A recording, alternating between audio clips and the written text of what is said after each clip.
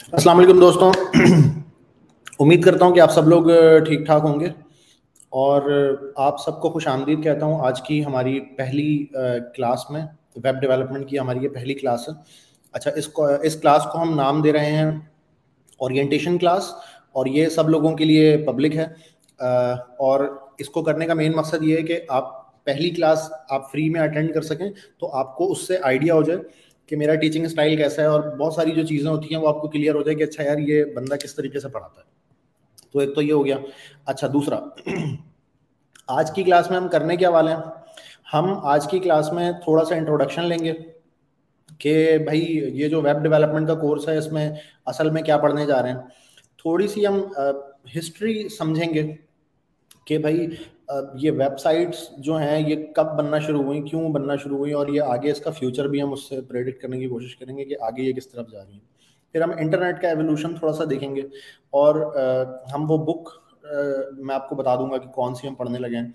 और हम कोशिश करेंगे कि आज की क्लास में हम एक हेलो वर्ल्ड छोटा सा बना लें अच्छा उससे पहले मैं जो लोग अभी ज्वाइन हुए हैं जो लोग नए हैं यहाँ पे उनसे मैं बताता चलूँ।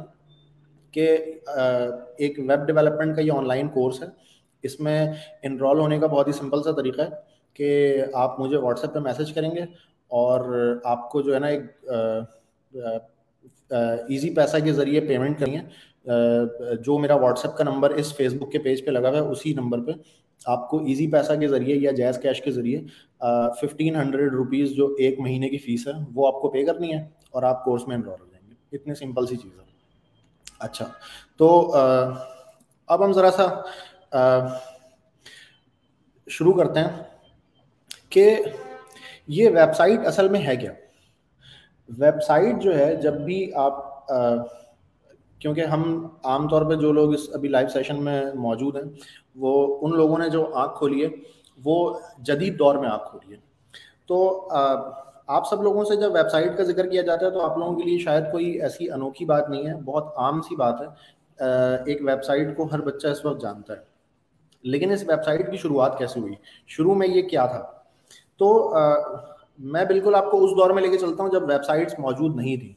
तो बिजनेसेस जो थे आजकल जो हर बिज़नेस की एक वेबसाइट होती है। तो उस वक्त जो बिजनेसेस थे वो क्या करते थे? वो फ्लायर्स बनाते थे। और वो ब्रोशर्स बना के और पम्फलेट्स बना के और उसको बांटा करते थे। अब अगर किसी ने देखा हो, मस्जिद के बाहर जो पम्फलेट बांट रहे होते हैं समटाइम खड़े खड़े तो वो आज भी वो तरीका राइज है। कुछ मौक़ों पर आपने देखा होगा कि मस्जिद के बाहर और मुख्तलिफ़ जगहों पर पम्फलेट तकसीम किए जा रहे होते हैं, जिसमें वो सारी डिटेल लिखी हुई होती है। तो आज से 25 साल 30 साल पहले जब इंटरनेट इतना कॉमन नहीं था, बल्कि आया ही नहीं था तो उस वक्त सबसे ज़्यादा कॉमन जो अप्रोच थी वो ये होती थी कि भाई किसी ने दुकान खोली, वो टायर बेच रहा है बंदा, या किसी ने दुकान खोली है, वो पिज़्ज़ा बेच रहा है, या कोई शॉपिंग मॉल खुला है किसी जगह पे नया तो वो पम्फलेट बनाते थे उसका और उन जो अपनी प्रोडक्ट्स हैं, सारी अच्छा यार, हम ये भी करते हैं, हम ये भी बेच रहे हैं, हम ऐसे भी कर रहे हैं, वैसे भी कर रहे हैं, वो सारा कुछ उसमें लिख के और उसको वो तकसीम कर देते थे लोगों में। अच्छा फिर जो बड़े स्केल पे थोड़ी होती थी मार्केटिंग वो कैसे होती थी कि अखबारों में इश्तहार दिए जाते थे, ठीक है ना? और यहाँ तक भी कुछ लोग करते थे कि एयरप्लेन के ज़रिए ना वो पम्फलेट पूरे सिटी के ऊपर गिराते हुए जाते थे। आप लोगों में से बहुत सारे लोगों ने शायद वो वक्त नहीं देखा होगा मैं भी उस वक्त पैदा नहीं हुआ था ये मेरे पैदाइश से बहुत पहले की बात है। तो इस तरह से मार्केटिंग कंपेन्स चलती थी। फिर बड़े बड़े बिल बोर्ड्स बनाए जाते थे जो आज भी आप देखते हैं बना हुआ है। अच्छा उन पम्फलेट्स के अंदर आ, लोगों का काम चल रहा था बिल्कुल सही काम चल रहा था। लेकिन फिर थोड़े ही दिनों के बाद क्या हुआ ये 1980s की मैं आपको बात बता रहा हूँ कि इंटरनेट का नाम लोगों ने सुनना शुरू कर दिया। अच्छा इंटरनेट क्या था? इंटरनेट जो है ये आर्मी ने मिलिट्री ने बनाया था अपने यूज़ के लिए। फिर बाद में उन्होंने सोचा कि यार इसको हम ना बेचते हैं, थोड़ा पैसे वैसे बनाते हैं। तो उन्होंने जो है ना पब्लिक करना स्टार्ट किया। जो वेब ब्राउज़र जैसे गूगल क्रोम अभी मैंने ओपन किया हुआ है अपने पास। तो इस तरह एक नेट स्केप नेविगेटर के नाम से एक ब्राउज़र इंट्रोड्यूस हुआ, जो लोग उसको इस्तेमाल करना शुरू हो गया अच्छा शुरू शुरू में जब इंटरनेट आया था तो उस वक्त ये नेटस्केप नेविगेटर से भी पहले की मैं बात बता रहा हूँ उस वक्त वो टर्मिनल पे काली स्क्रीन पे वो इंटर, इंटरनेट इस्तेमाल करते थे लोग आपस में कम्युनिकेट बट वो मेरे ख्याल रेलिवेंट नहीं है तो हम शुरू करते हैं नेटस्केप नेविगेटर के आने से जो पहला वेब ब्राउज़र आ गया। अच्छा पहला वेब ब्राउज़र जैसे ही आ गया तो उसके अंदर क्या हुआ कि अच्छा उससे पहले जो इंटरनेट था काली स्क्रीन वाला उस पर तो लोग मैसेजेस करते थे कम्युनिकेट करते थे कि भाई मैंने आपको कोई मैसेज भेज दिया आपने मुझे कोई मैसेज भेज दिया। हर बंदे की एक खास आईपी एड्रेस हुआ करता था। उस आईपी एड्रेस के ज़रिए जो है वो लोग आपस में कम्युनिकेट करते थे कि भाई आ, जैसे अभी हम फ़ोन नंबर पूछते हैं कि अच्छा यार आपका फ़ोन नंबर क्या है? तो वो लोग आईपी एड्रेस लिख कर ले आते थे कि अच्छा यार आपका आईपी एड्रेस ये तो आपको जब भी मैसेज भेजना हो मैं इस पर भेज तो वो काली स्क्रीन के ऊपर टर्मिनल के ऊपर या कमांड प्रॉम्प्ट के ऊपर ये ऑपरेशन हो रहे होते थे। लेकिन जैसे ही वेब ब्राउज़र आ गया और ग्राफिकल यूज़र इंटरफेस पे जब इस्तेमाल होना शुरू हुआ आ, हमारा इंटरनेट तो उसके बहुत सारे जो है ना फवायद लोगों को नज़र आए। अच्छा उन्हीं में से एक फ़ायदा ये भी था कि जो ब्रॉशर और जो पम्फलेट वो बांटा करते थे मस्जिद के बाहर और मुख्तलिफ़ सड़कों पे और वो जहाज़ के ज़रिए गिराते हुए जो जा रहे होते थे उन सारे पम्फलेट्स को उसका डिजिटल वर्जन जो है उसमें बनाना पॉसिबल हो गया। अच्छा फिर हुआ क्या कि जो आईपी एड्रेस जो मैसेज करने के लिए एक दूसरे को देते थे, उसकी जगह पे एक वेबसाइट का एड्रेस आप किसी को दे देते थे और वो उसको ओपन करके देखता था। अच्छा अब उसमें फ़ायदा क्या था कि कागज़ का जो पंफलेट आपने एक दफ़ा किसी को दे दिया, वो तो चेंज नहीं होगा। उसमें तो जो लिखा हुआ वही रहेगा। अब ज़ाहिर है प्रोडक्ट की प्राइसेस चेंज होती हैं प्रोडक्ट नई प्रोडक्ट्स आती हैं। बहुत सारी चीज़ें वक्त के साथ साथ चेंज होती हैं। लेकिन वो कागज़ पे जो छप गया वो तो वही है।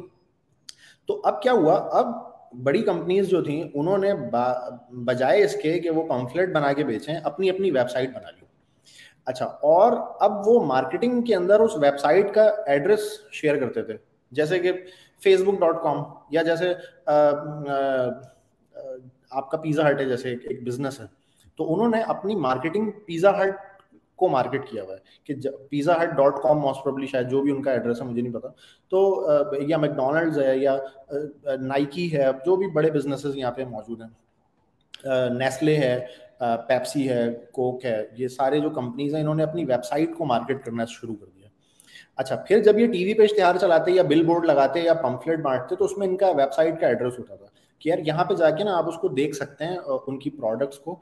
उसी पम्फलेट का एक डिजिटल वर्जन देख सकते हैं आप।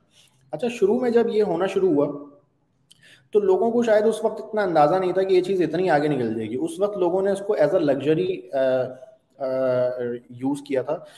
यानी जिन बिजनेसेस के पास इतनी रिसोर्सेज होती थी, ज़ाहिर है वही कर पाते थे, क्योंकि उस अर्ली स्टेज पे हर किसी के पास इतने रिसोर्सेज नहीं होती थी कि वो वेबसाइट बना सके या वेबसाइट को अफोर्ड कर सके। ज़ाहिर है कंप्यूटर्स बहुत ही ज़्यादा महँगे होते थे और इंटरनेट की स्पीड बहुत स्लो होती थी। तो आपको अपने पास एक सर्वर सेटअप करना, उस वक्त बहुत बड़ी बात हो जाती थी। तो जो बड़े बिजनेसेस थे, उनके लिए ही पहली बात तो ये पॉसिबल था। फिर एज अ यूज़र भी हर बंदे के पास, क्योंकि इंटरनेट अवेलेबल नहीं होता था तो लोग एज अ लग्जरी इंटरनेट का कनेक्शन सम टाइम लिया करते थे। मतलब जिन जिन लोगों के पास इंटरनेट का कनेक्शन होता था, उन वो मतलब बहुत क्या दूसरे लोगों से थोड़ा वो इम्तियाज़ हो जाता था उनको कि यार हमारे पास इंटरनेट का कनेक्शन है। और ज़्यादातर आम पब्लिक के पास इंटरनेट था भी नहीं। वो रिसर्चर्स और जो इस फ़ील्ड से ताल्लुक रखने वाले लोग हैं, जो नेटवर्किंग से ताल्लुक था, इनका जिनका सॉफ्टवेयर डेवलपमेंट से ताल्लुक था, उन्हीं के पास इंटरनेट होता था क्योंकि उन्हीं को ही ज़रूरत पड़ती थी। आम पब्लिक के लिए शायद इतनी रेलिवेंट चीज़ भी नहीं थी। फिर इन्होंने आहिस्ता आहिस्ता मार्केटिंग किया, लोगों में कॉमन होना शुरू किया। अब हम फास्ट फॉरवर्ड होके आ जाते हैं नाइन्टीज़ में। अच्छा नाइन्टीज में क्या हुआ? विंडोज़ ने अपना ऑपरेटिंग सिस्टम जब जी बेस किया और वो आहिस्ता आहिस्ता इम्प्रूव होना शुरू हुआ और ये विंडोज़ 95 और विंडोज़ 98 और फिर 2000 और फिर विंडोज़ एक्सपी आ गई तो उस वक्त तक कंप्यूटर बहुत सस्ते हो चुके थे। नस्बता पहले के, उस वक्त तक कंप्यूटर काफ़ी सस्ते हो चुके थे और उस वक्त तक इंटरनेट का कनेक्शन भी वेस्ट में, यूरोप में, अमेरिका में काफ़ी कॉमन हो चुका अच्छा हमारे यहाँ थोड़ा सा और लेट हुआ इंटरनेट का कनेक्शन कॉमन होने में, लेकिन हमारे पास भी अब अलहमदिल्ला हो चुका है। अच्छा उसके बाद फिर और हम थोड़ा सा फास्ट फॉरवर्ड करते हैं कि 2003 में 2004 में ये फेसबुक और यूट्यूब और इस तरह के प्लेटफॉर्म आना शुरू हुए याहू का मैसेंजर आ गया, फिर ईमेल्स वगैरह फ्री हो गई सारी, वरना पहले, उससे पहले आपको अपना ईमेल सर्वर खुद सेट करना पड़ता था। तो इसके वजह से हुआ क्या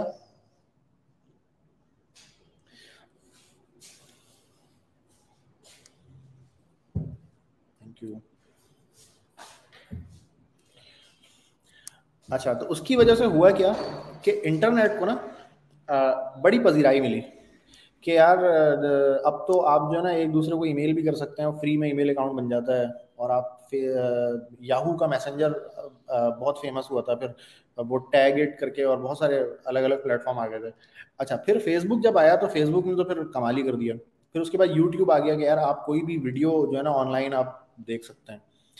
फिर उसके बाद 2007 में एंड्रॉयड ऑपरेटिंग सिस्टम लॉन्च हो गया। स्मार्टफ़ोन मार्केट में आ गया। अच्छा और गूगल ने ऑपरेटिंग सिस्टम बनाया एंड्रॉयड और सैमसंग वगैरह ने मिलके स्मार्टफ़ोन तैयार कर लिए। अच्छा फिर उसी के फ़ौरन ही बाद आईफोन भी बना दिया एप्पल ने जो कि बहुत ही ज़्यादा फ़ेमस हुआ। आ, सारे रिकॉर्ड पिछले सारे रिकॉर्ड तोड़ दिए उसने मोबाइल फ़ोन की सेल्स के। आ, सारे रिकॉर्ड उन्होंने तोड़ दिए।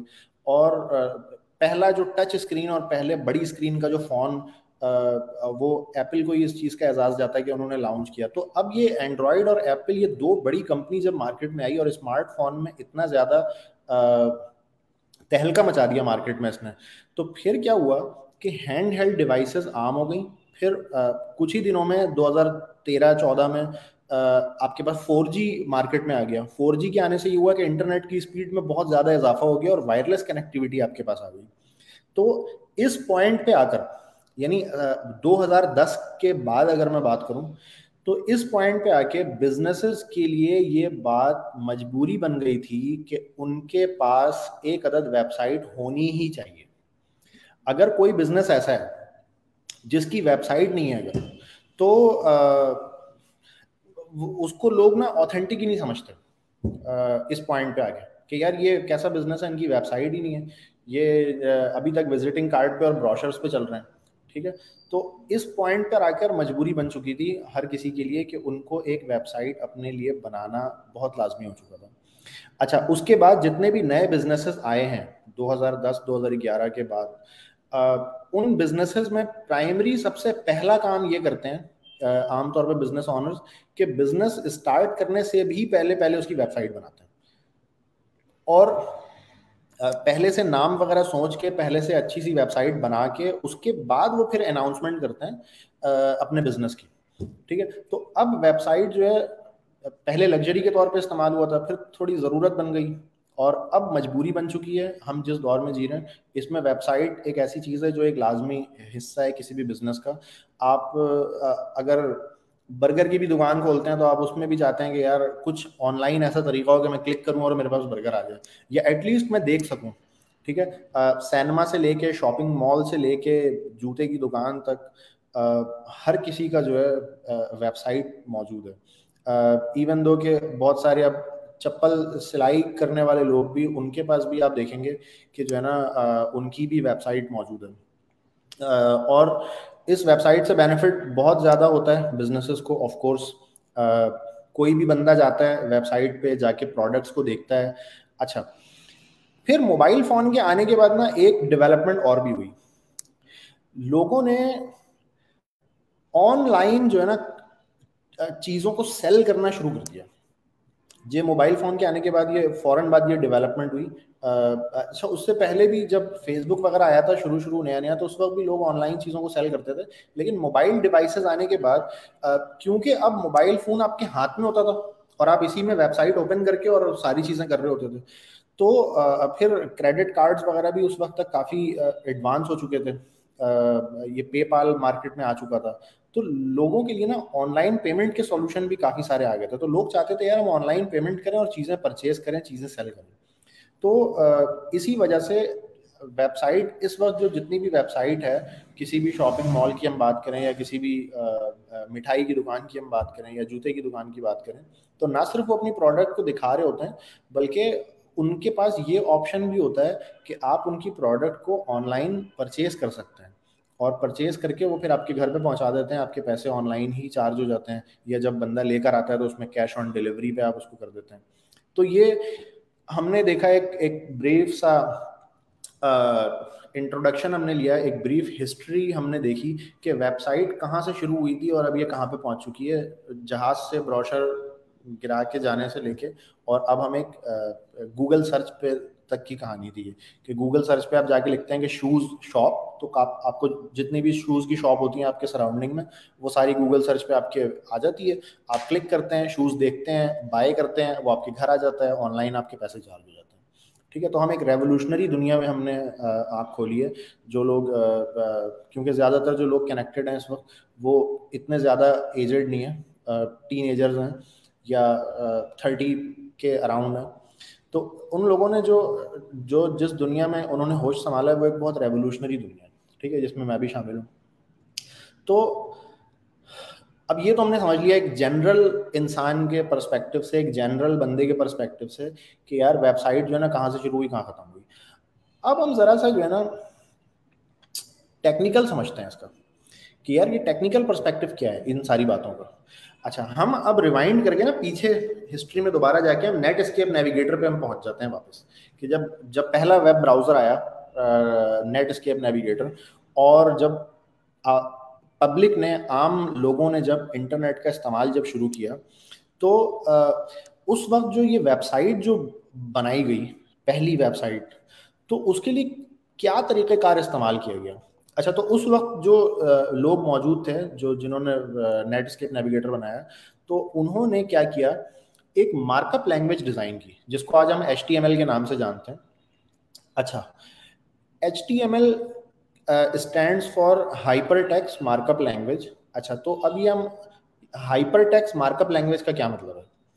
अच्छा तो पहले तो हम हाइपर टेक्स को भी हम साइड पर कर देते हैं। हम पहले मार्कअप लैंग्वेज समझते हैं कि मार्कअप क्या है।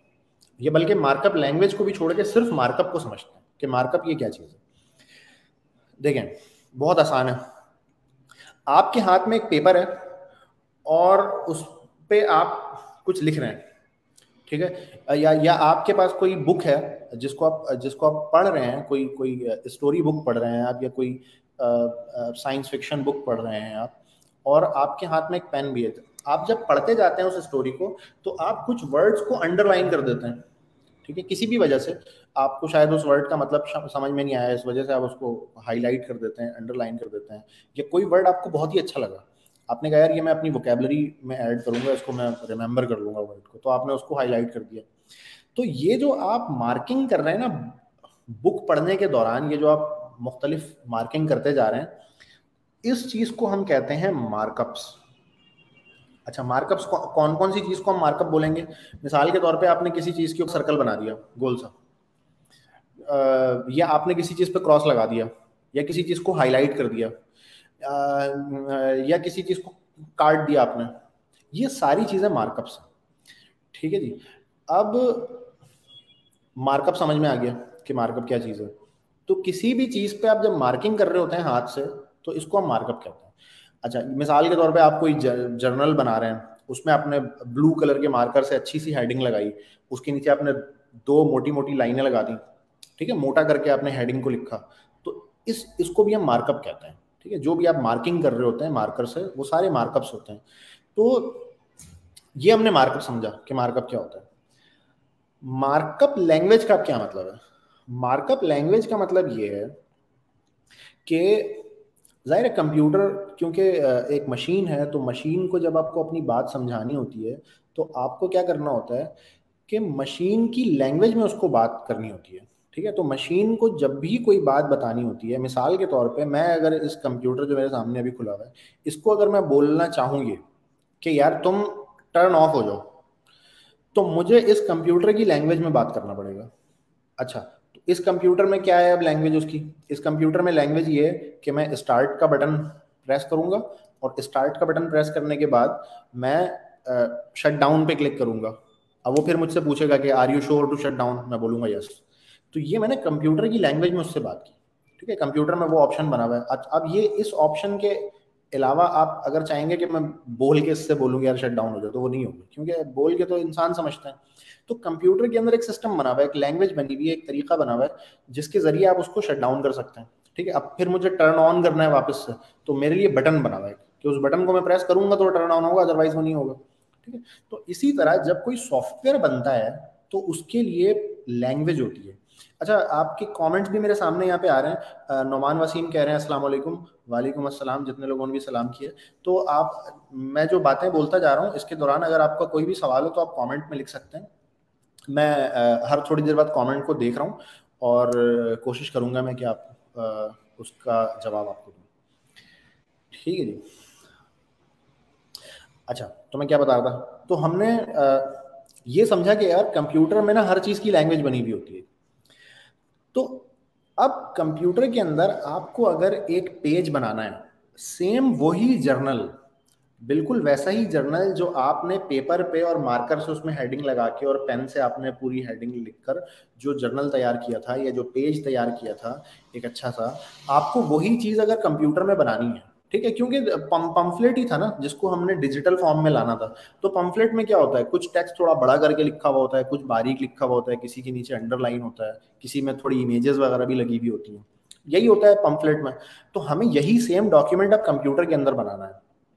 तो अब हम क्या करेंगे कंप्यूटर को एक अदद लैंग्वेज चाहिए, जो नेट स्केप नेविगेटर वालों ने बनाई, उसका नाम रखा हाइपर टेक्स्ट मार्कअप लैंग्वेज तो मार्कअप लैंग्वेज का मतलब यही है कि जो लिखा हुआ टेक्स्ट होगा किसी टेक्स्ट को बड़ा कर दिया किसी टेक्स्ट को छोटा कर दिया ठीक है? मार्कअप लैंग्वेज है तो लिखे हुए टेक्स्ट को इस तरह से मॉडिफाई करने के लिए हम जो लैंग्वेज इस्तेमाल करते हैं उसको हम कहते हैं मार्कअप लैंग्वेज अच्छा आपको मैं एक और मिसाल देके समझाता हूँ।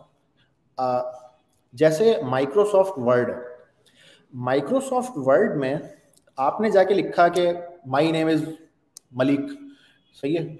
आ, ये जाके लिखा आई लिव इन कराची ऐसे आपने दो लाइन लिख दी। अब आपने कराची को सेलेक्ट किया और बोल्ड कर दिया उसको। तो ये असल में आपने मार्कअप लगाया। कराची के ऊपर आपने क्या लगाया मार्कअप बोल्ड बोल्ड हो जाओ तुम। अच्छा तो इसी तरीके से जो मार्कअप लैंग्वेज है जैसा कि एचटीएमएल है हाइपर टेक्स मार्कअप लैंग्वेज इसके अंदर भी हम क्या करते हैं? हम कोई भी बात लिखते हैं, बिल्कुल माइक्रोसॉफ्ट वर्ड पे जैसे होता है, बिल्कुल सेम उसी तरीके से। हम कोई बात लिखते हैं, हम कहते हैं, यार तुम बोल्ड हो जाओ। तो बोल्ड करने के लिए कुछ मार्कअप्स होते हैं। अभी वो इंशाल्लाह हम हेलो वर्ल्ड बनाएँगे तो आप देखेंगे कि वो मार्कअप्स किस तरह के होते हैं। वो मार्कअप्स देखने में कैसे होते हैं, ठीक है? और उनको हम इस्तेमाल कैसे करते हैं। अच्छा तो ये हमने देख लिया कि मार्कअप लैंग्वेज क्या होता है। अच्छा अब हम इसके शुरू वाले पार्ट पे आते हैं हाइपर टेक्स मार्कअप लैंग्वेज में मार्कअप लैंग्वेज तो समझ आ गया। हाइपर टैक्स क्या चीज़ है?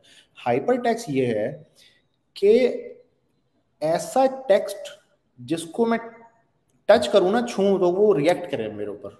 ठीक है?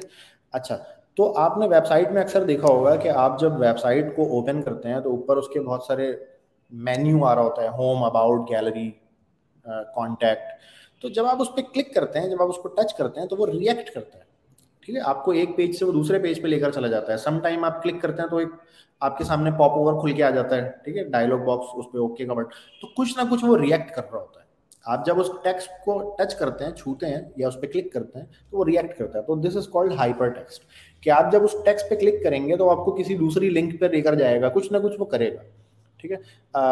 ऑन अदर एंड अगर मैं पंफलेट्स की बात करूँ, जो पम्फलेट छपे हुए पम्फलेट होते हैं, उसमें जो आप टेक्स्ट जो लिखा हुआ होता है मार्कअप्स तो होते हैं उसमें, कुछ हेडिंग बड़ी करके लगी हुई होती है, कुछ इमेजेस होती हैं, छोटी कुछ कुछ पैराग्राफ्स होते हैं। ये सारी चीज़ें तो उसमें होती हैं। लेकिन वो टेक्स्ट हाइपर नहीं होता। आप उसको छूने से कुछ होता नहीं है।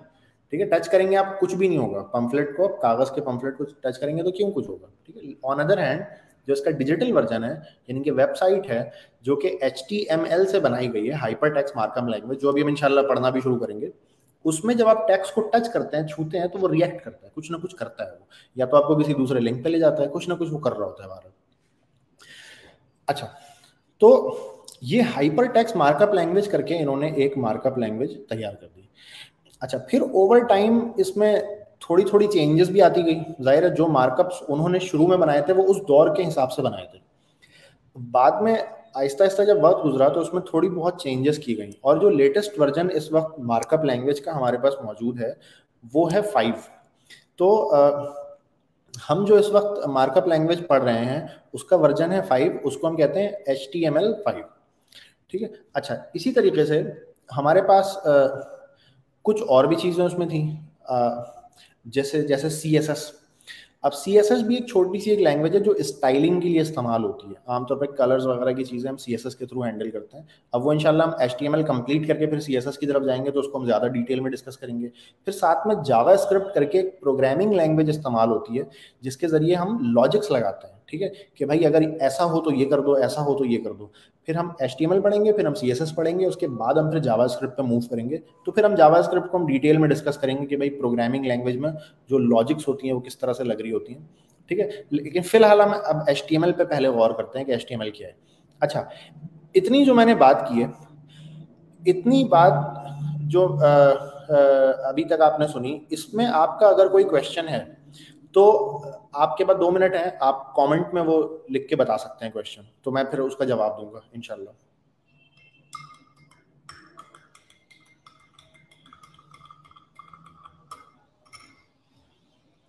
अच्छा अगर नहीं है कोई क्वेश्चन तो वो भी प्लीज़ लिखें कि ठीक है जी, हमें सब कुछ समझ में आ रहा है, कोई क्वेश्चन नहीं है।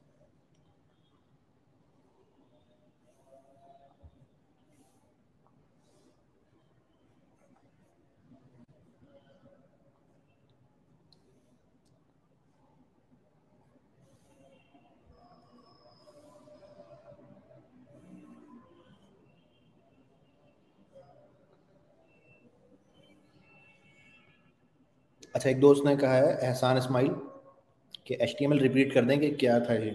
तो H T M L stand for hyper text markup language अच्छा अहमद आरिफ कह रहे हैं कि सेकंड क्लास क्या जूम पर होगी?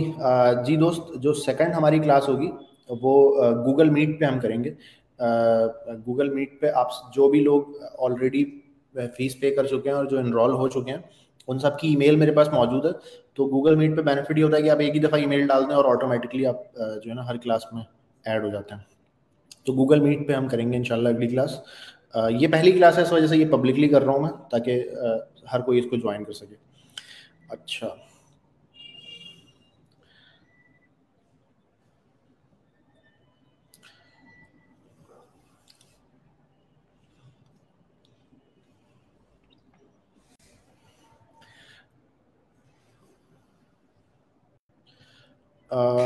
इरफान बशीर कह रहे हैं कि which tool will we use अच्छा अभी टूल पता चलता जाएगा। आ, हम गूगल क्रोम हमारा सबसे बड़ा टूल है पहली बात तो ये। गूगल क्रोम पे ही सारा काम ऑफ़ कोर्स हम कर रहे होंगे। जो भी वेबसाइट्स हम बनाएँगे वो गूगल क्रोम पे चलेगा। हाँ इसके अलावा एक टेक्स्ट एडिटर हमें चाहिए होगा। वो अभी बता देता हूँ मैं आपको कि वो कौन सा होगा। अच्छा अब इतने में मैं ज़रा ना बुक आपको बताता हूँ कि हम बुक कौन सी पढ़ने वाले हैं। इस कोर्स में। ओके।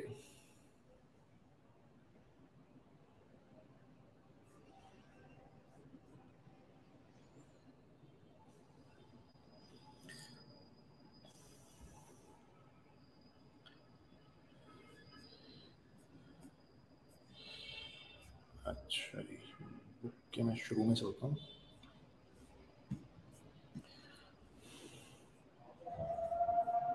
Screen share.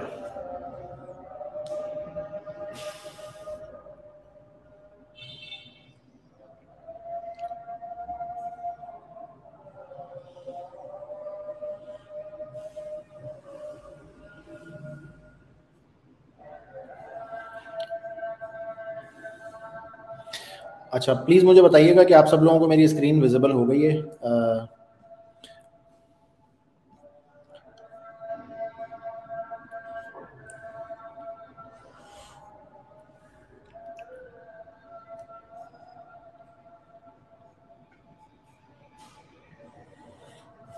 अच्छा जी तो ये वो बुक है जो हम यूज़ करने लगे हैं इस कोर्स में? अच्छा ये बुक क्योंकि पेड है तो मैं इसको पब्लिकली शेयर नहीं कर पाऊँगा, लेकिन जो लोग इनरोल्ड हैं कोर्स में उनको ये बुक मैं जो प्राइवेट हमारा फेस व्हाट्सएप का ग्रुप है, उसमें मैं ये बुक प्रोवाइड कर दूँगा इनशाला अच्छा तो ये जॉन डकेट राइटर हैं इसके, और H T M L C S S की ये सबसे बेस्ट बुक है इस वक्त मार्केट में जो मौजूद है। अच्छा हम ज़रा इसका कंटेंट अब देखते हैं कि इसमें कंटेंट क्या कवर किया है इन्होंने। चैप्टर वन जो है इसका uh, उसमें स्ट्रक्चर डिस्कस किया है कि एक वेबसाइट जो होती है उसका स्ट्रक्चर जो है वो कैसा होता है उसके स्ट्रक्चर में क्या क्या चीज़ें होती हैं। अच्छा उसके बाद टेक्स्ट से रिलेटेड जो जो चीज़ें हैं वो चैप्टर टू में डिस्कस हुई हैं लिंक्स डिस्कस हुए हैं इसमें। फिर इमेजेस लगाना किसी भी अगर वेब पेज आप बना रहे हैं तो उसमें इमेजेस किस तरह लगा सकते हैं आप? टेबल्स इसमें डिस्कस हुई हैं फॉर्म्स इसमें डिस्कस हुए हैं, ठीक है? तो ये ये सारे जो शुरू के आठ चैप्टर्स हैं, ये हम एचटीएमएल में इनशाला कवर करेंगे। अच्छा उसके बाद फिर इसमें सीएसएस की भी काफ़ी चीज़ें मौजूद हैं और फिर हम इसमें से सीएसएस थोड़ी सी कवर करके फिर हम आगे मूव कर देंगे। अच्छा इस पॉइंट पे मैं ये चाहूँगा कि हम हेलो वर्ल्ड की तरफ़ बढ़ें। अच्छा आपको एक सिंपल सी वेबसाइट बनाने के लिए कोई भी चीज़ रिक्वायर्ड नहीं है। आपको जस्ट एक टेक्स्ट एडिटर चाहिए। हर कंप्यूटर में एक टेक्स्ट एडिटर बिल्ट इन मौजूद होता है। लेकिन आ, मैं वी एस कोड गूगल पे लिखता हूँ जाके।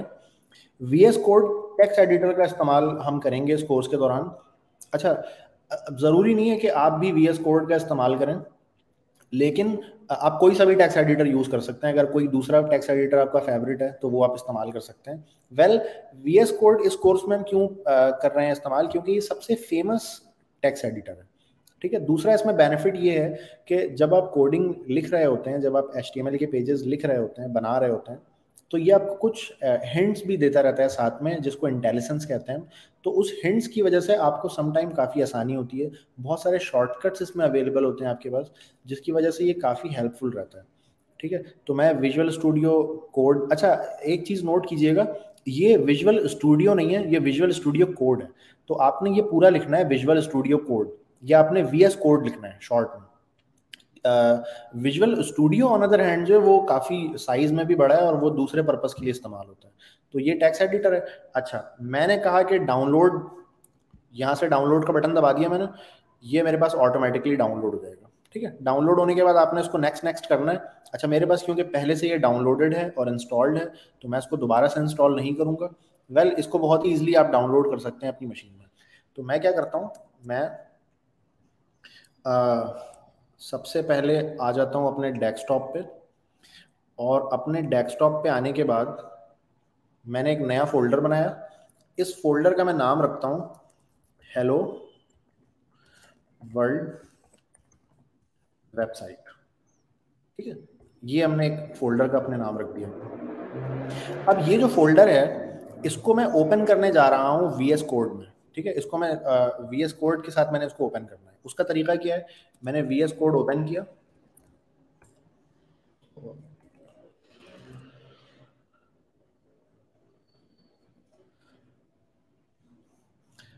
ठीक है जी, ये मैंने वी एस कोड ओपन कर लिया अपने पास। अच्छा वी एस कोड ओपन करने के बाद आप क्या करेंगे? आप यहाँ फ़ाइल में जाएँगे, आप कहेंगे ओपन फोल्डर ठीक है? आप हमेशा याद रखें, आपने ओपन फोल्डर करना है, आपने ओपन फ़ाइल इसमें नहीं करनी है।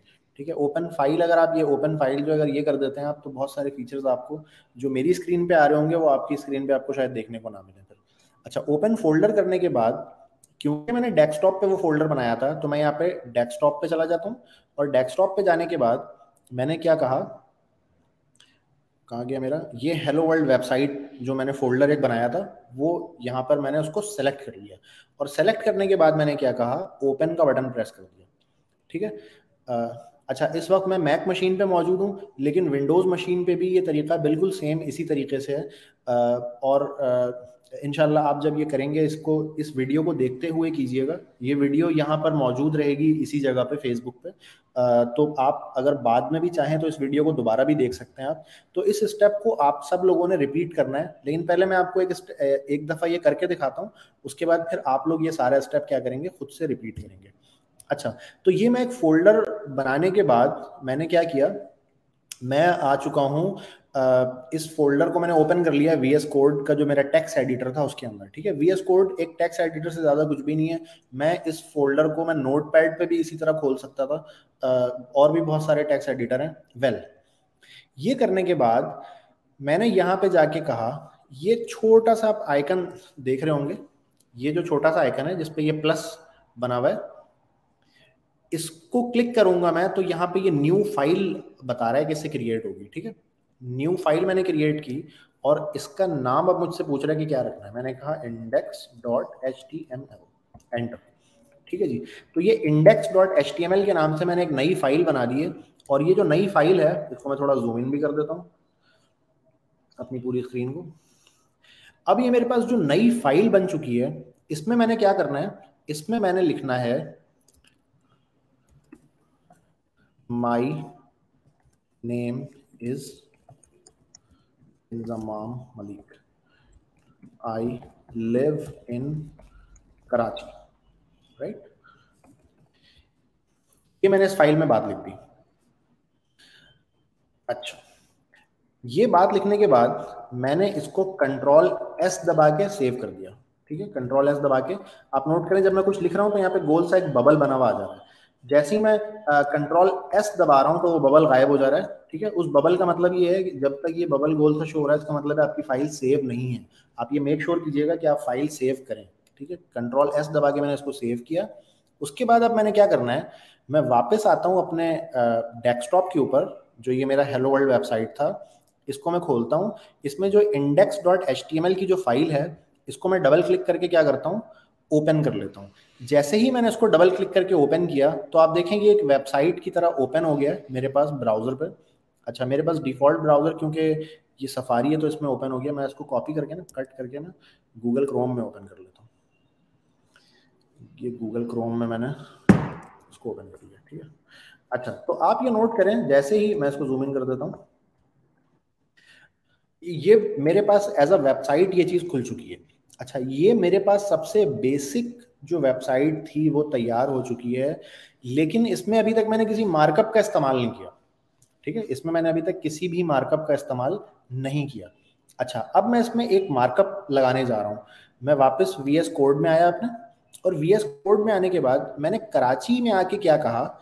मैंने कराची में आके कहा angle bracket open close B और यहाँ पे मैंने कहा एंगल ब्रैकेट और स्लैश और बी ये मैंने एक मार्कअप लिखा है इस पर इस मार्कअप का मतलब ये है कि इस कराची को क्या कर दिया जाए? बोल्ड कर दिया जाए। ठीक है? इसको मैंने दोबारा से सेव किया कंट्रोल एस दबा के, और मैं वापस आता हूँ अब, और इसको जरा मैं रिफ्रेश करके देखता हूँ तो आप नोट करें कराची जो है वो बोल्ड हो चुका है। ठीक है? अच्छा अब मैं अपने नाम को जरा अंडरलाइन करने की कोशिश करता हूँ, या बल्कि इसको मैं इटैलिक करने की कोशिश करता हूँ। तो इटैलिक के लिए मैंने आई लिखा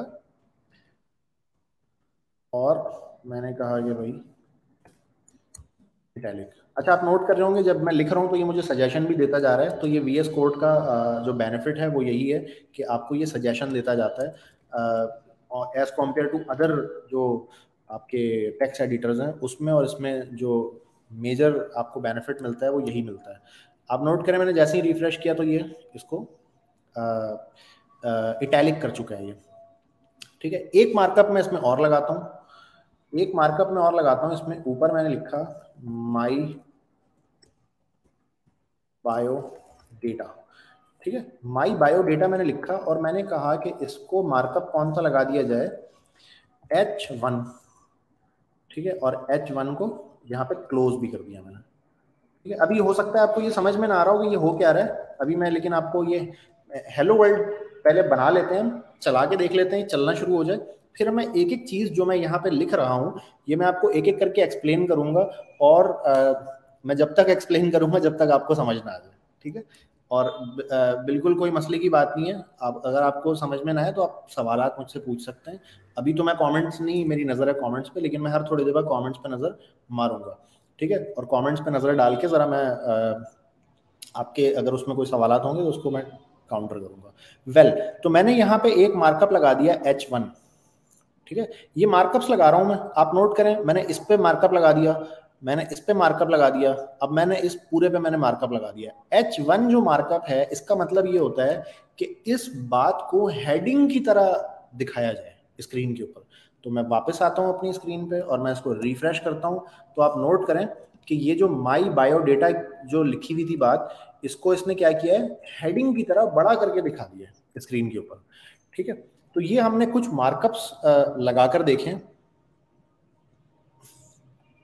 और ये हमारा जो है वो सबसे बेसिक एक वेबसाइट जो थी वो हमने तैयार कर लिया हमने अपने एचटीएमएल का हेलो वर्ल्ड इस पॉइंट पे बना लिया हमने ठीक है? अब इसके बाद जरा हम बुक की तरफ़ जाएँगे कि बुक में अब उन्होंने कैसे शुरू किया हुआ है। आ, आ, और उससे बुक पे जाने से पहले लेकिन प्लीज़ ये बात कंफर्म कीजिएगा कि ये मार्कअप्स वाली जो बात है क्या ये बात आप लोगों को समझ आई है? अच्छा और मैं क्या करता हूँ, कोशिश करता हूँ कि ये जो कोड मैंने लिखा है, ये कोड मैं क्या करूँ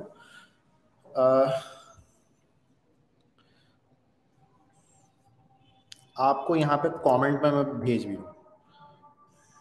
सही कमेंट में मैंने ये कोड भेज भी दिया आपको। अच्छा। ठीक है जी। अच्छा किसी दोस्त ने कुछ सवाल पूछा है? एक दोस्त पूछ रहे हैं कि सर ये विंडोज़ में डाउनलोड किया आपने? नहीं दोस्त आ, मेरे पास जो है वो मैक मशीन है लेकिन विंडोज़ पे भी ये इसी तरह से डाउनलोड होगा। अगर आपको विंडोज़ में डाउनलोड करने पे कोई इशू आए तो कोई प्रॉब्लम नहीं है। आप प्लीज़ बताइएगा कि आपको क्या इशू आ रहा है। आप ना अपना व्हाट्सएप खोल के ना स्क्रीन रिकॉर्ड कीजिएगा कि भाई मुझे ये इशू आ रहा है। और आप जो हमारा पेड ग्रुप है व्हाट्सएप का, उसमें आप भेजिएगा वो वीडियो तो कोई ना कोई आपकी हेल्प करेगा। मैं खुद वहाँ पे मौजूद होता हूँ। मैं खुद उसमें आपको पर्सनली हेल्प करूँगा। और अगर ज़रूरत पड़ी तो मेरे पास विंडोज़ मशीन भी मौजूद है तो मैं उसमें भी ये रिकॉर्डिंग आपको करके दे दूँगा कि उसमें किस तरह से इंस्टॉल होता है, ठीक है? तो बहुत ईजी इंस्टॉल हो जाता है, कोई इशू की बात नहीं है। अच्छा जब हम पढ़ रहे होंगे तो क्या दूसरे हम क्वेश्चन कर सकेंगे या आखिर में और लिमिट होगी, कुछ पूछना है तो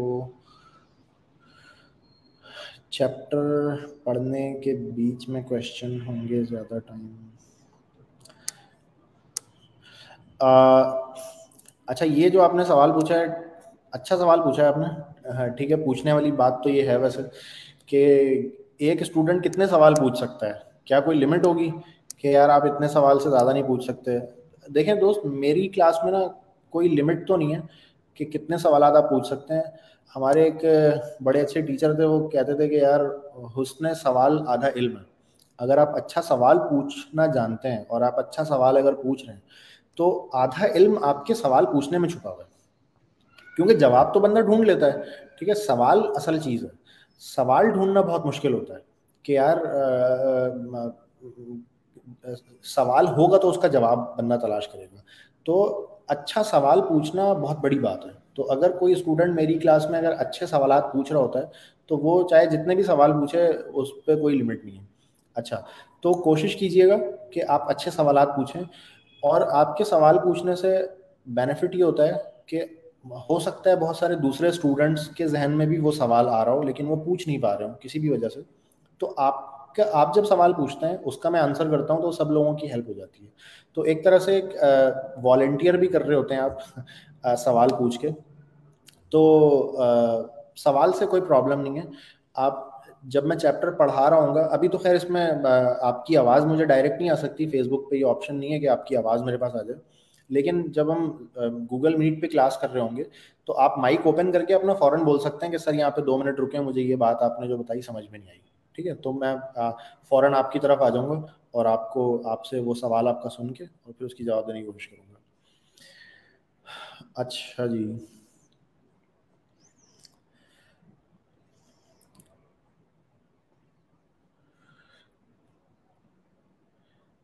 Syed Ahmed, sir V S में कौन सी एक्सटेंशन डाउनलोड करनी है? वी एस कोड में कोई एक्सटेंशन तो नहीं किया हमने अभी तक? एक्सटेंशन तो बहुत अभी आगे की चीज़ है। एक्सटेंशन तो छोड़ दें अभी। सैफ खान ने एक बड़ा अच्छा सवाल पूछा है कि इसमें क्या एच टी एम एल क्योंकि आम, अभी जो हमने हेलो वर्ल्ड बनाया है, इसमें कुछ ऐसे मार्कअप्स हैं जो मिसिंग है, जो मैंने नहीं लगाए। ये बहुत मिनिमल कोड है, जो जो मिनिमम पॉसिबल कोड है, वो हमने लिखा है इसमें तो बुक्स जब बुक में हम जाएँगे तो आप देखेंगे कि वहाँ पे शुरू में वो एचटीएमएल का एक मार्कअप लगाते हैं फिर वो हेड लगाते हैं फिर बॉडी लगाते हैं। तो वेल well, एक टाइम पे वो मैंडेटरी हुआ करता था लेकिन गूगल क्रोम और ये जो अभी के ब्राउज़र हैं वो इतने एडवांस हो चुके हैं कि अगर वो ना भी हो तो उसको फ़र्क नहीं पड़ता। वेल well, होना ज़रूरी है वो एच का मार्कअप जो है वो क्यों लगाते हैं, कैसे लगाते हैं, वो हम अभी बुक में जब पढ़ेंगे ना, उसके दौरान ये वाली बातें डिस्कस हो जाएँगी कि इसका फ़ायदा क्या है, अगर अगर इसको लगाए बगैर भी काम हो रहा है तो उसका फ़ायदा फिर क्या हुआ?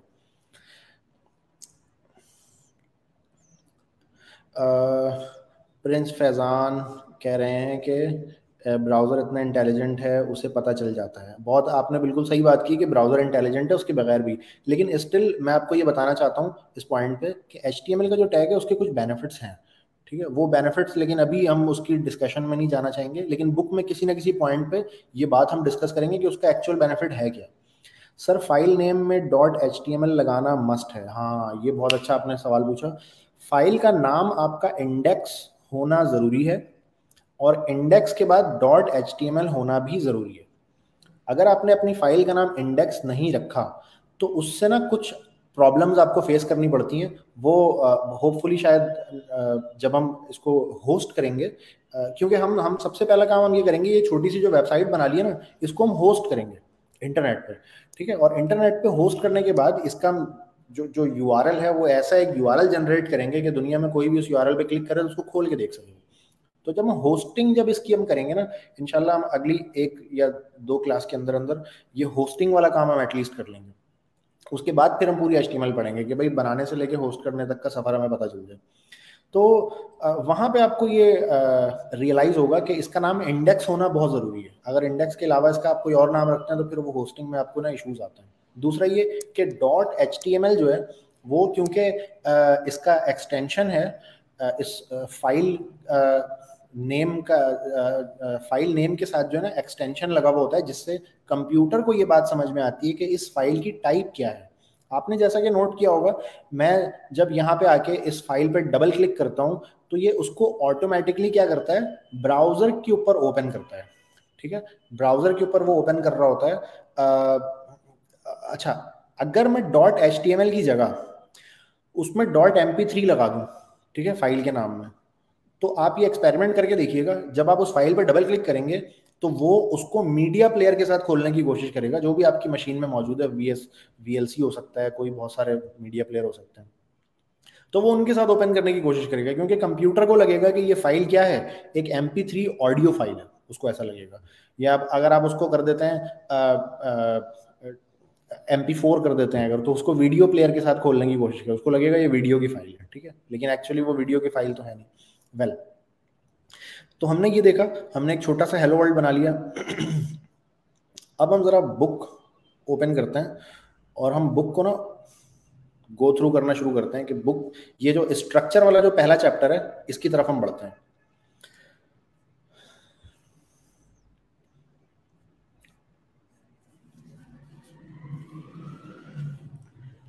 अच्छा बुक के शुरू में इन्होंने जरा बताया हुआ है कि इस कलर का पेज होगा तो उसका मतलब है ये इंट्रोडक्शन हो रहा है इस पेज पे, ठीक है? फिर रेफरेंस जहाँ पर होगा, उसका पेज का कलर कुछ इस तरह का होगा, ठीक है? फिर जहाँ पे डायग्राम्स होंगी, वो कुछ इस तरह का ब्लैक कलर का पेज होगा, ठीक है? समरी का लास्ट का ब्लू कलर का तो ये शुरू में इन्होंने बता दिया कि किस पेज पे क्या क्या मतलब है उसका। अच्छा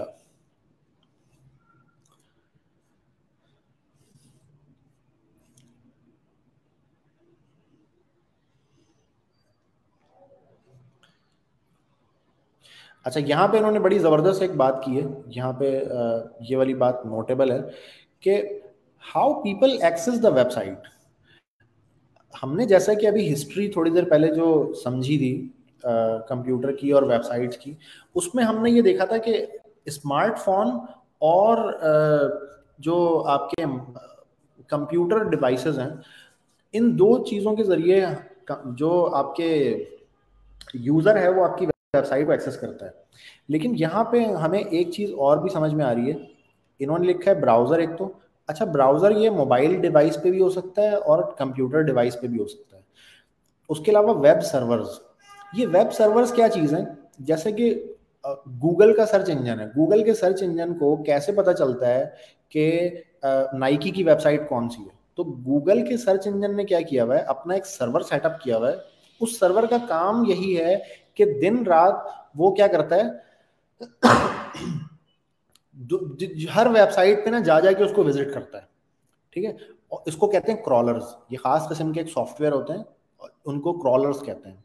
आप इसको अलग से भी गूगल कर सकते हैं। तो क्रॉलर्स क्या करते हैं कि हर वेबसाइट पे जाते हैं बारी बारी तो उसको जाके विज़िट करते हैं और उसको इंडेक्सिंग करते हैं। उसके अंदर क्या कुछ लिखा हुआ है, उसकी इंडेक्सिंग करते हैं। ठीक है? तो उसी वजह से होता है कि जब आप लिखते हैं नाइकी तो फॉरन नाइकी की वेबसाइट ऊपर आ जाती है।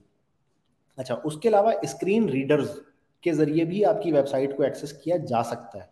ठीक है? स्क्रीन रीडर्स क्या होते हैं कि बहुत सारे लोग जो होते हैं, वो कुत बिनाई से महरूम होते हैं तो वो भी कंप्यूटर का इस्तेमाल करते हैं। तो उनके लिए ख़ास किस्म के एक सॉफ्टवेयर होते हैं, जो आप आप मशीन में इंस्टॉल कर देते हैं, कंप्यूटर में इंस्टॉल कर देते हैं। तो फिर क्या होता है, जब भी आप कोई वेबसाइट विज़िट करते हैं तो वो स्क्रीन रीडर उस वेबसाइट को पढ़ के सुनाता है, ठीक है? तो स्क्रीन रीडर के ज़रिए भी आपकी वेबसाइट को एक्सेस किया जा सकता है, ठीक है? अच्छा डिवाइसेस का भी इन्होंने ज़िक्र किया जो कि भाई मोबाइल डिवाइस भी हो सकती है, कंप्यूटर भी हो सकता है, टैबलेट डिवाइस भी हो सकती है। तो ये इन्होंने कुछ बात की है, इसको आप कोशिश कीजिएगा कि खुद से पढ़ लें। देखें बुक पढ़ना बहुत ज़रूरी है आपके लिए। इस क्लास में हम, बुक को मैं पूरा पढ़ के तो सुना नहीं सकता, क्योंकि हमारे पास टाइम लिमिटेड है, दो घंटे का टाइम है। अगर मैं ये बुक पूरी पूरी पढ़ना शुरू करूँगा तो हमारा दो घंटा कैसे ख़त्म होगा, ये आपको भी नहीं पता चलेगा, ना मुझे पता चलेगा। ठीक है? तो ये जो इन्होंने कुछ लंबी लंबी यहाँ पे बातें लिखी हैं, डिस्क्रिप्शन लिखी है तो ये बहुत इंपॉर्टेंट हो सकता है आपके लिए बहुत सारे पॉइंट्स पे। तो कोशिश करें आप कि इसको आप क्या करें, खुद से थोड़ा थोड़ा पढ़ने की कोशिश कीजिएगा बुक को आप। अच्छा how websites are created website create कैसे होती है? जो हमने हिस्ट्री जब समझ रहे थे तो हमने वो देखा था कि यार एचटीएमएल करके एक चीज़ होती है, उसके ज़रिए वेबसाइट बनती है। अच्छा यहाँ पे इस पॉइंट पे इन्होंने ये बताया है कि भाई वेबसाइट बनाने के और भी कुछ तरीके होते हैं जिसमें सीएमएस शामिल है। ब्लॉगिंग टूल्स जिसमें शामिल है, वो क्या होते हैं? ब्लॉगिंग टूल्स कि आपके पास एक माइक्रोसॉफ्ट पेंट की तरह का इंटरफेस आ जाता है, उसमें से आप ड्रैग ड्रॉप करके सारी चीज़ें रखते चले जाते हैं और वेबसाइट आखिर में तैयार हो जाती है। ठीक है? तो एक ये भी तरीका मौजूद है। अच्छा अब उसके प्रोज एंड कॉन्स क्या है? वो भी इन्होंने आगे जाके डिस्कस किए हुए हैं जहाँ पे सीएमएस का ज़िक्र आता है इसी बुक में आगे वहाँ पे इन्होंने इसको कंपेयर किया हुआ है कि आप एचटीएमएल से जो खुद से वेबसाइट बनाते हैं और जो सीएमएस के ज़रिए वेबसाइट बनती है ब्लॉगिंग टूल्स के ज़रिए तो उनमें मेन डिफरेंस क्या है उसके क्या प्रोज एंड कॉन्स है वो आगे आपको पता चल जाएगा। वेल well, जो प्रोफेशनल डेवलपमेंट होती है मैं आपको वो बताना चाहूँगा कि वो एचटीएमएल के ऊपर ही होती है। एचटीएमएल का कोड लिखकर वो हम कर रहे होते हैं जो प्रोफेशनल सॉफ्टवेयर डेवलपमेंट होती है। ठीक है जी? अच्छा how the web works web काम कैसे करता है? अच्छा इस पॉइंट पे मैं ये मेंशन करना चाहूँगा कि वेब और वेबसाइट ये दो डिफरेंट चीज़ हैं। ठीक है, इस चीज़ को समझने की ज़रूरत है कि वेब जो है, वो जाल है तारों का। ठीक है, जैसे मेरा कंप्यूटर है, मेरा कंप्यूटर भी एक तार से कनेक्ट है। ठीक है, मेरे पास बाहर से इंटरनेट के की कनेक्शन की वायर आई भी है, वो मेरे कंप्यूटर से अटैच है इस वक्त।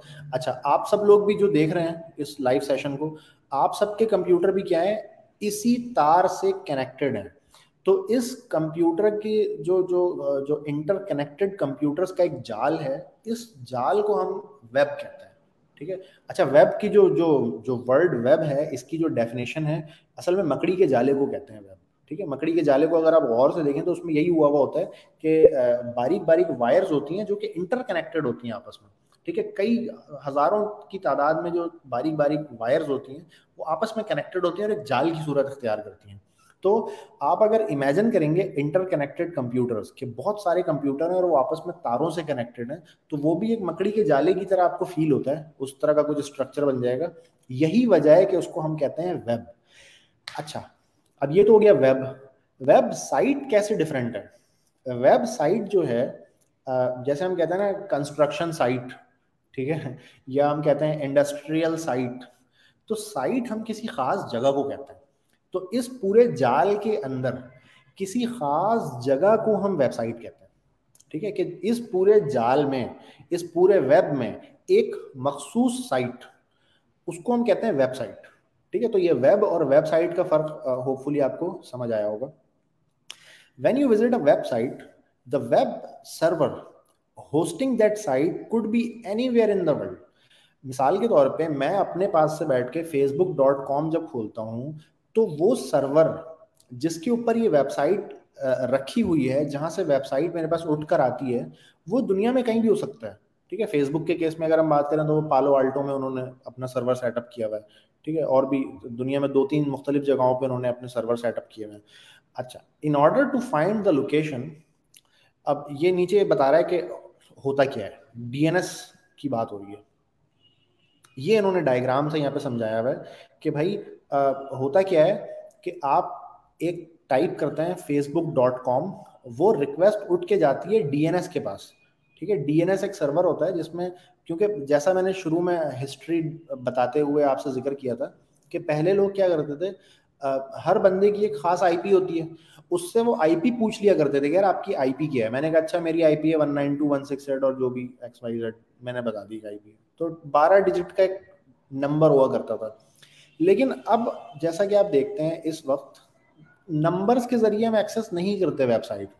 मैं मैं बाकायदा नाम लिखता हूँ उसका। मैं कहता हूँ फेसबुक डॉट कॉम या यूट्यूब डॉट कॉम या गूगल डॉट कॉम ठीक है? तो असल में ये एक एक्स्ट्रा लेयर होती है जो जो हर इंटरनेट के के जो प्रोवाइडर्स हैं, उनके पास एक एक एक्स्ट्रा कंप्यूटर छोटा सा लगा हुआ होता है और उस कंप्यूटर में ये बात सेव हो, क्योंकि एक्चुअल तो कंप्यूटर का एड्रेस आईपी होता है, नाम तो होता नहीं है। तो एक हर इंटरनेट प्रोवाइडर के पास एक एक्स्ट्रा कंप्यूटर लगा हुआ होता है, जिसमें ये बात सेव होती है दुनिया में जितने भी इस वक्त वेबसाइट बने हुए हैं, उन सबका आईपी एड्रेस और उन सबका नाम, वो उसके अंदर लिखा हुआ होता है।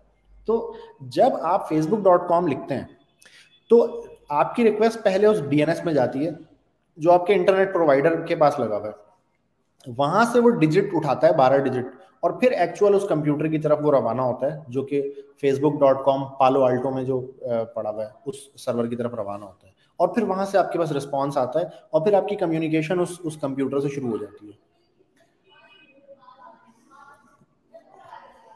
अच्छा जी। मैं ज़रा एक नज़र कमेंट्स पे कर लूँ। प्लीज़ शेयर बुक लिंक दोस्त बुक का जो लिंक है वो मैं यहाँ पे शेयर नहीं कर पाऊँगा पब्लिकली वो अगर व्हाट्सएप का ग्रुप आपने ज्वाइन किया हुआ हमारा तो उसमें मैं शेयर कर दूँगा। ये पूरी बुक शेयर कर दूँगा पीडीएफ फ़ाइल इसकी।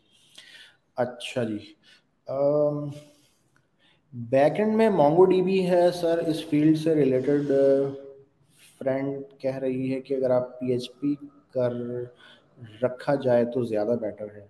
इजी और डिमांडिंग है, बाकी आप बेहतर जानते हैं। दोस्त, ये पीएचपी जो है ना, वो थोड़ा सा आउट ऑफ़ डेट हो गया इस सेंस में कि बहुत सारी जो जो जदीद किस्म की चीज़ें ना, वो पीएचपी में थोड़ा सा मुश्किल होता है करना।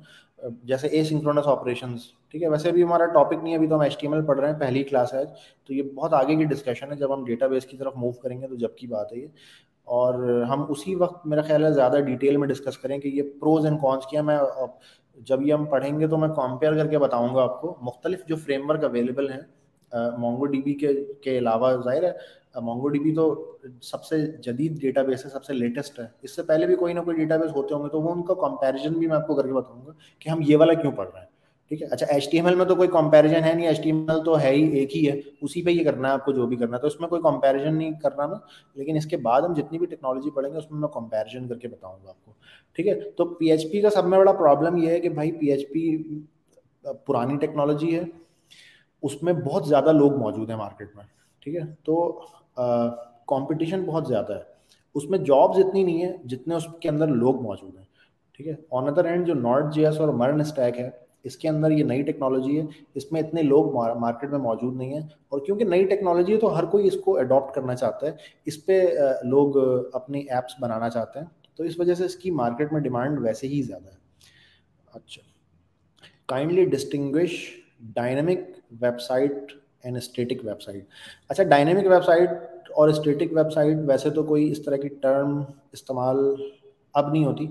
अब स्टेटिक वेबसाइट और वेब एप्स ये नई टर्मिनोलॉजी है, ठीक है? तो डायनेमिक वेबसाइट्स की जगह अब इस्तेमाल होता है वेब एप्स अच्छा जो वेबसाइट ना पम्फलेट की तरह खुलती है, आप स्क्रॉल करते हैं पिक्चर्स देखते हैं टेक्स्ट देखते हैं और आप उसमें कुछ इंटरेक्शन नहीं कर सकते, इसको हम स्टेटिक वेबसाइट बोलते हैं। ऑन अदर हैंड जो वेब एप्स हैं, उसमें आप लॉग इन साइन अप कर सकते हैं। उसमें अपना अकाउंट बना सकते हैं आप। इस तरह की जो चीज़ें हैं अपना डेटा उसमें जो पुट इन कर सकते हैं, वो वेब एप्स कहलाती हैं। ठीक है? अच्छा एक दोस्त कह रहे हैं कि आवाज़ उनको क्लियर नहीं आ रही है।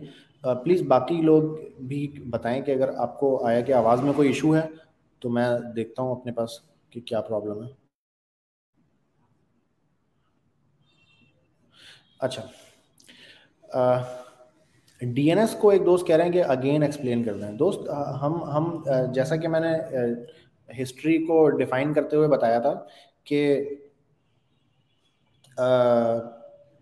पहले के ज़माने में जब नया नया इंटरनेट आया था तो उस वक्त क्या होता था कि मैंने आपसे आपका आईपी एड्रेस मांग लिया कि यार आपका आईपी एड्रेस बता दें आप, आपको मैं घर जाके मैसेज करूँगा ठीक है? इंटरनेट टर्मिनल के ज़माने में जब कमांड प्रॉम्प्ट पे चलते थे इंटरनेट तो इस वक्त, क्योंकि इंटरनेट का जो बेसिक सिस्टम है, जो अंडरलिंग इंफ्रास्ट्रक्चर है, वो तो वही है, जो शुरू में बना था, वही है आज तक चल रहा है। तो उसके, उस इंफ्रास्ट्रक्चर के अंदर हर कंप्यूटर की जो आइडेंटिफिकेशन होती है, वो एक बारह डिजिट का एक नंबर होता है, जिसको हम आईपी एड्रेस कहते हैं। ठीक है, लेकिन वो आईपी एड्रेस क्योंकि याद रखना मुश्किल होता है फेसबुक डॉट कॉम याद रखना आसान होता है तो इस वजह से हर इंटरनेट प्रोवाइडर ने अपने पास क्या लगाया हुआ है, एक अलग एक एक्स्ट्रा कंप्यूटर लगाया हुआ है, जिस कंप्यूटर में क्या होता है कि ये सारे जितने भी, दुनिया में जितनी भी वेबसाइट मौजूद है, उन सबका नाम और उनका आईपी एड्रेस क्या है, वो लिखा हुआ होता है। तो इससे बेनिफिट ये होता है कि हमें क्या करना पड़ता है, उसका वेबसाइट का जो है आईपी एड्रेस नहीं लिखना पड़ता, बल्कि उसका नाम लिखते हैं और नाम से क्या करता है, वो जाके डीएनएस से वो आईपी उठा लेता है। लेकिन अंडरलाइंग स्ट्रक्चर क्योंकि उसी आईपी पे बेस करता है तो एक्चुअल कम्युनिकेशन आईपी पे ही हो रही होती है। ठीक है लेकिन हमें पता नहीं चलता हमें लगता है कि नाम से हो रही है। अच्छा लाइव सर्वर भी एक एक्सटेंशन है जो वी एस कोड में डाउनलोड कर सकते हैं। जी बिल्कुल कर सकते हैं लेकिन अभी हम उन उस तरफ़ नहीं जाएँगे। अच्छा जी। अब हम आ जाते हैं स्ट्रक्चर की तरफ़। ये चैप्टर नंबर वन है हमारे इस बुक का। आ, हमारे पास आ, इस क्लास में एक घंटा हम गुजार चुके हैं ऑलरेडी हमारे पास एक घंटा और मौजूद है, जिसके अंदर हम कोशिश करेंगे कि इस चैप्टर को जितना पढ़ सकें बेहतर है। इस चैप्टर में तीन बातें डिस्कस हुई हैं मेनली अंडरस्टैंडिंग द स्ट्रक्चर कि स्ट्रक्चर को समझना कि उसमें है क्या असल में स्ट्रक्चर लर्निंग अबाउट मार्कअप्स अच्छा हमने हेलो वर्ल्ड जो बनाया, उसमें कुछ मार्कअप्स हमने लगा के देख लिए। ठीक है? अब ये जो बुक हम पढ़ने जा रहे हैं, इस बुक में हम मेनली क्या कर रहे होंगे? जितने भी एचटीएमएल में अवेलेबल मार्कअप्स हैं, उन सबको देखेंगे जरा कि यार वो कौन कौन से मार्कअप है जो एचटीएमएल में हो सकते हैं पॉसिबली और उन मार्कअप्स का बिहेवियर क्या है। अगर ये ये जो हम अब एचटीएमएल आगे पढ़ेंगे जितनी भी, उसमें यही दो चीज़ें हम पढ़ेंगे, ठीक है? मैं रिपीट कर रहा हूँ। नंबर वन हम क्या पढ़ेंगे? कि कितने मार्कअप्स एचटीएमएल में अवेलेबल हैं। कौन कौन से ऐसे मार्कअप्स हैं जो पॉसिबली एचटीएमएल में मैं इस्तेमाल कर सकता हूँ नंबर दो, उनमें से हर एक का बिहेवियर क्या होने वाला है? ठीक है? तो यही दो चीज़ें अब एच में बच चुकी हैं। बाकी तो हमने जो जो बेस थी वो हमने तैयार कर लिए अब हम क्या करते जाएँगे? एक एक मार्कअप को देखते जाएँगे, उसका बिहेवियर देखेंगे और हमारी एच इस तरह से कंप्लीट हो जाएगी। अच्छा फिर टैग्स एंड एलिमेंट्स ये टैग और एलिमेंट क्या होते हैं? कोई चीज़ होती है, कोई टर्मिनोलॉजी है टैग एंड एलिमेंट वो भी ये डिस्कस करेंगे इसी चैप्टर में। अच्छा इन्होंने कहा we came across all kind of documents every day in our lives. Newspaper, insurance form, shop catalog, and list goes on. कि हम अपने जो डेली लाइफ है, उसमें हम क्या करते हैं? बहुत सारे डॉक्यूमेंट्स हमें देखने को मिलते हैं। जैसे मैंने शुरू में ब्रॉशर की एग्जांपल दी थी पम्फलेट की एग्जांपल दी थी तो ये आपको वही बता रहा है। तो इस पॉइंट पे यही बताना चाह रहे हैं आपको ये कि आपका जो एक वेबसाइट है वो इसी न्यूज़ पेपर की वेबसाइट इन्होंने खोला हुआ है इस टैबलेट पे और बताना ये चाह रहे हैं कि आ, ये न्यूज़ पेपर एक स्टेटिक पेपर है। हाँ।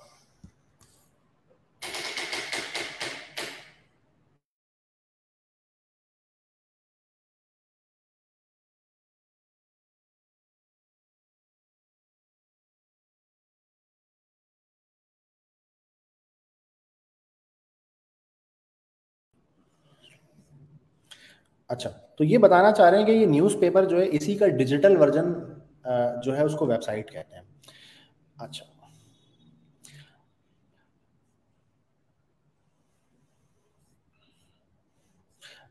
अच्छा तो यहाँ पे ये क्या बता रहे हैं कि हाउ पेज यूजेस स्ट्रक्चर कि जब दोनों एक दूसरे के वर्जन है तो उसमें दोनों में डिफरेंस क्या है? न्यूज़पेपर में क्या होता है? हेडिंग होती है टेक्स्ट होता है इमेजेस होती हैं, वही सारी चीज़ें एक वेबसाइट में भी होती हैं। लेकिन वेबसाइट में कुछ एक्स्ट्रा चीज़ें ऐसी होती हैं जो न्यूज़पेपर में होना इम्पॉसिबल है। ठीक है? जैसा कि वीडियोस जैसा कि ऑडियो ठीक है? जैसा कि एनिमेशंस कि वो पिक्चर होगी, लेकिन मूविंग पिक्चर हो सकती है वो। ठीक है? इसी तरीके से आप किसी पिक्चर पे क्लिक करें तो वो बड़ी हो जाए, खुल के आपके पूरी फुल स्क्रीन पे आ जाए। तो ये वो चीज़ें हैं जो एक न्यूज़पेपर में पॉसिबल नहीं है।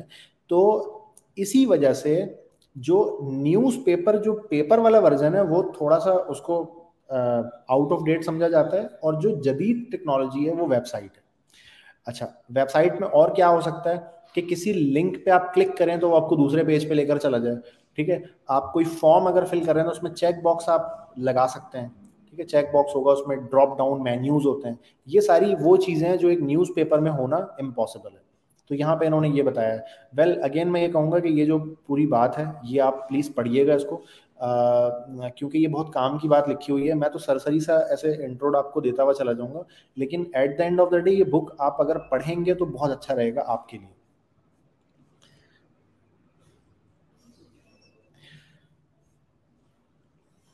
अच्छा यहाँ पे इन्होंने माइक्रोसॉफ्ट वर्ड की एग्जांपल देके आपको समझाई है कि जिस तरह माइक्रोसॉफ्ट वर्ड में हेडिंग होती है, फिर टेक्स्ट होता है, फिर सब हेडिंग होती है, फिर मजीद टेक्स्ट होता है। तो आपका जो एचटीएमएल का डॉक्यूमेंट है, इसको भी जो स्ट्रक्चर करते हैं, वो इसी तरह से करते हैं जैसे एक माइक्रोसॉफ्ट वर्ड के डॉक्यूमेंट स्ट्रक्चर करते हैं। ठीक है, अब हम ज़रा नीचे चलते हैं और वेबसाइट का हम स्ट्रक्चर देखते हैं। वापस आता हूँ मैं। ये माइक्रोसॉफ्ट वर्ड पे वही डॉक्यूमेंट बना हुआ है, ठीक है? और ये वही डॉक्यूमेंट एचटीएमएल में ये डॉक्यूमेंट बनाकर इन्होंने दिखाया है। ठीक है तो आप देख सकते हैं कि इसका स्ट्रक्चर जो है एक माइक्रोसॉफ्ट वर्ड का जो डॉक्यूमेंट होता है, उससे काफ़ी मिलता जुलता है कि टॉप पे हेडिंग होगी, फिर कुछ टेक्स्ट होगा, फिर एक हेडिंग होगी, फिर टेक्स्ट होगा। इमेजेस भी हो सकती हैं साथ में। अच्छा। ये एक टिपिकल स्ट्रक्चर जो है ना, इन्होंने बनाया हुआ है एक एक वेबसाइट का। ठीक है अच्छा इसके अंदर आप नोट कीजिए कुछ ऐसे मार्कअप्स लगे हुए हैं जो अभी तक हमने नहीं देखे कुछ हमने देख भी लिए हैं। मिसाल के तौर पे ये एच का जो मार्कअप है, ये यहाँ से शुरू है और ये यहाँ पे ख़त्म है।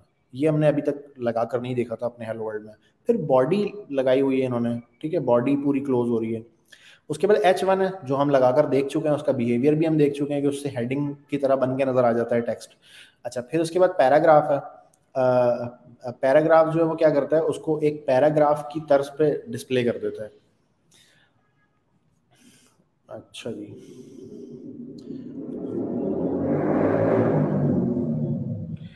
अच्छा मैं ज़रा थोड़ा सा कमेंट भी हर थोड़ी देर पे देखता जाऊँ।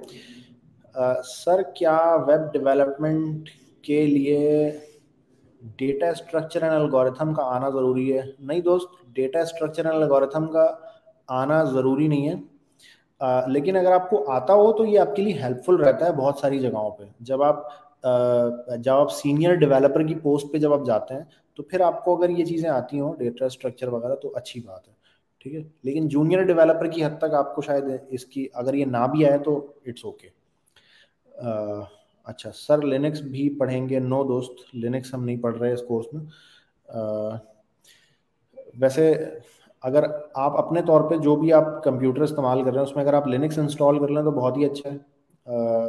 क्योंकि सॉफ्टवेयर की जो दुनिया है, उसके अंदर लिनक्स बहुत अहम है।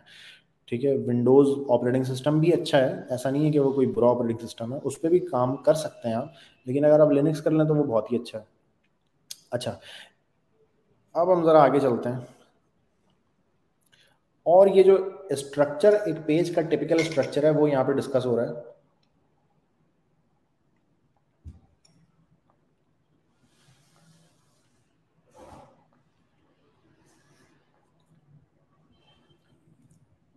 अब ये जो लास्ट पेज पे इन्होंने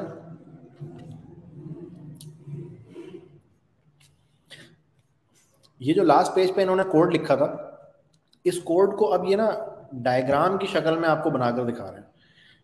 इसमें आप नोट कर सकते हैं कि जो भी मार्कअप ओपन होता है, वो मार्कअप कहीं ना कहीं क्लोज ज़रूर होता है। ठीक है? आप नोट करें एच टी एम एल यहाँ पे मार्कअप ओपन हुआ है और ये मार्कअप यहाँ पे क्लोज हो गया। अच्छा फिर उसके बाद आप देखें बॉडी है।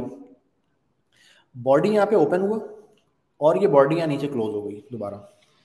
उसके बाद देखें फिर आप हेडिंग वन ओपन हुआ हेडिंग वन यहाँ पे क्लोज है। ठीक है साथ में इन्होंने यहाँ पे बॉक्स की सूरत में कर दिया है जहाँ तक जो जो मार्कअप जहाँ तक उस आ, उसकी बाउंड्रीज हैं उसको एक बॉक्स में करके आपको दिखा दिया ठीक है तो ये एक एक एक टिपिकल स्ट्रक्चर एक होता है वेबसाइट का। हमने जो हेलो वर्ल्ड बनाया था हमने ये एचटीएमएल और ये बॉडी हमने नहीं लगाया था। हमने डायरेक्ट एच लिखा था तो वो चल रहा था। वेल well, अभी हम मजीद कोड भी लिखेंगे तो अभी हम ये एचटीएमएल लगा कर लिखेंगे। अब क्लोजर लुक कि मैंने जो एच लिखा था वो क्या है? तो इस पॉइंट पे इन्होंने ये हमें बताया कि ये एक टैग है। ठीक है? मैं अगर अपने कोड में जाऊँ वापस तो आप ये जो ये जो आप देख रहे हैं, ये इतना जो पार्ट है, ये बुक में क्या बता रहे हैं कि ये एक टैग है। ठीक है? आ जाते हैं वापस बुक में हम। अच्छा जो टैग होगा, उस, उसको कैसे पहचानेंगे हम? एक तरफ़ उसके एंगल ब्रैकेट होगी, ठीक है? जिसको हम लेफ़्ट एंगल ब्रैकेट कहते हैं। अच्छा बीच में उसके एक अदद कैरेक्टर होगा, ठीक है? जो जो भी मार्कअप है क्योंकि हर मार्कअप का नाम अलग है। कुछ का एच वन है, कुछ का पी पैराग्राफ है, ठीक है? कुछ का बोल्ड का बी है इटैलिक के लिए आई है। तो कोई भी कैरेक्टर उसके बीच में होगा। और फिर राइट एंगल ब्रैकेट होगी, ठीक है? तो इस तरह वो दो एंगल ब्रैकेट के बीच में एक कैरेक्टर होगा। तो इस चीज़ को एच की ज़ुबान में अगर ये इस तरह से लिखा हुआ है तो उसको हम कहते हैं टैग ठीक है जी? अच्छा ये वाला जो टैग है, इसको हम ओपनिंग टैग कहते हैं। यहाँ पे इन्होंने बताया कि ये ओपनिंग टैग है। अच्छा अब जरा हम वापस अपने कोड में आते हैं और हम देखते हैं कि ये जो है, ये ओपनिंग टैग है। अच्छा एक टैग और भी है यहाँ पे, जिसको क्लोजिंग टैग कहा जा रहा है। ये आप नोट करें, थोड़ा सा मुख्तलिफ़ है। ओपनिंग टैग से थोड़ा सा मुख्तलिफ़ है। इसमें मुख्तलिफ़ चीज़ क्या है? इसमें एक स्लैश मौजूद है। ठीक है? इसमें एक फॉरवर्ड स्लैश मौजूद है एंगल ब्रैकेट के बाद। तो अब ये आगे आपको क्लोजिंग टैग भी बताना जा रहे हैं। ठीक है जी, ये क्लोजिंग टैग कुछ इस तरह का दिखेगा। ठीक है जी, एक एंगल ब्रैकेट होगी, उसके बाद स्लैश होगा, उसके बाद वही कैरेक्टर होगा जो ओपनिंग में है। ठीक है कैरेक्टर डिफरेंट नहीं हो सकता। जो ओपनिंग में था, वही क्लोजिंग में भी होगा कैरेक्टर अदरवाइज़ उसको पता नहीं चलेगा कि ये कौन सा कौन सा टैग क्लोज हो रहा है। अच्छा तो हमने क्या देखा कि ओपनिंग टैग और क्लोजिंग टैग तो एक मार्कअप जो हम ऐड करते हैं एचटीएमएल के अंदर हम कोई भी मार्कअप जब लगाते हैं तो उसको लगाने के लिए हम क्या इस्तेमाल करते हैं? एक अदद ओपनिंग टैग और एक अदद क्लोजिंग टैग हम उसके लिए इस्तेमाल कर रहे होते हैं। तो उससे क्या होता है कि उस चीज़ पे वो मार्कअप अप्लाई हो जाता है। मिसाल के तौर पे यहाँ पे एच वन का मार्कअप हमने लगाया है तो उस पर क्या होगा? ये टेक्स्ट पूरा हेडिंग की तरह बन के नज़र आ जाएगा। जो भी ओपनिंग और क्लोजिंग के दरमियान में जो चीज़ होगी, वो क्या बन के आ जाएगी? हेडिंग की तरह बड़ी सी, बड़ा सा होके नज़र आ जाएगी। अच्छा अब आगे चलते हैं। अच्छा एक चीज़ और मैं बताना चाहूँगा यहाँ पे कि ओपनिंग टैग और क्लोजिंग टैग को मिला के एलिमेंट कहते हैं। इसको हम क्या कहते हैं? एलिमेंट कहते हैं। अच्छा मैं शुरू से इसको मार्कअप मार्कअप कह रहा हूँ, लेकिन इसका जो सही वर्ड है, जो सही टर्मिनोलॉजी है, वो हम कहते हैं एलिमेंट। ठीक है? तो मैंने जो मार्कअप लगाया है, वो माई बायो डेटा जो ये बात लिखी हुई थी, इसके ऊपर मैंने मार्कअप लगाया है। लेकिन मार्कअप लगने के बाद अब ये क्या बन चुका है? ओपनिंग और क्लोजिंग टैग को मिला के उसको हम एलिमेंट कहते हैं। ठीक है? तो जब दो डेवलपर आपस में बात करते हैं तो उसको वो मार्कअप नहीं कहते। इसको वो क्या कहते हैं? एलिमेंट कहते हैं। ठीक है तो हम भी अब से क्या बोलेंगे उसको? एलिमेंट बोलेंगे। अब इसको हम मार्कअप नहीं बोलेंगे आज से। अच्छा जी। उसके बाद क्या है? आप हर एलिमेंट को कुछ ना कुछ एट्रीब्यूट्स भी पास कर सकते हैं। ठीक है? कुछ ना कुछ एट्रीब्यूट्स भी पास कर सकते हैं। मिसाल के तौर पे ये एक पैराग्राफ का जो मार्कअप था, इस पैराग्राफ के मार्कअप को हमने एक एट्रीब्यूट पास किया लैंग्वेज ठीक है? और लैंग्वेज की इक्वल्स मैंने लिखा है ई एन यू एस के इंग्लिश यूनाइटेड स्टेट्स तो मैं आके इस एच वन को भी ये क्या कर देता हूँ? मैं कह देता हूँ लैंग्वेज ई एन यूएस ठीक है? अच्छा इस एट्रीब्यूट से क्या पता चल रहा है?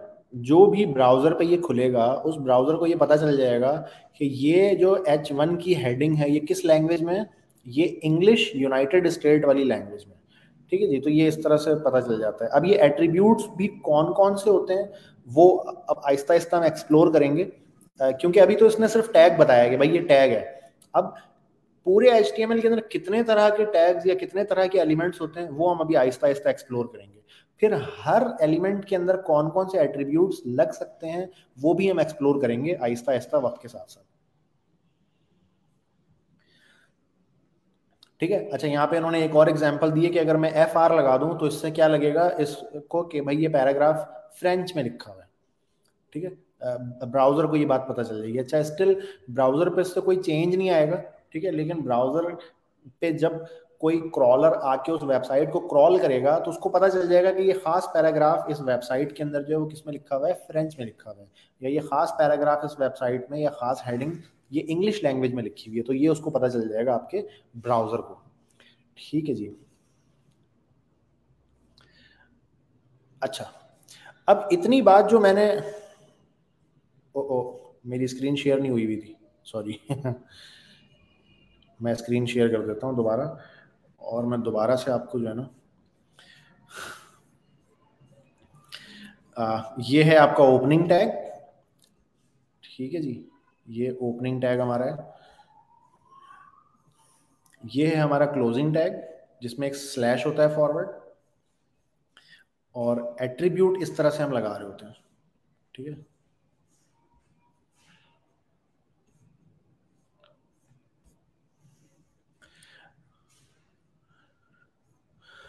अच्छा काइंडली ये बताइएगा कि ये ओपनिंग और क्लोजिंग टैग वाली बात आपको समझ आ गई है? क्योंकि मेरा ख्याल है मेरी स्क्रीन शेयर नहीं थी तो शायद आपको ये बात बिल्कुल ऊपर से निकल गई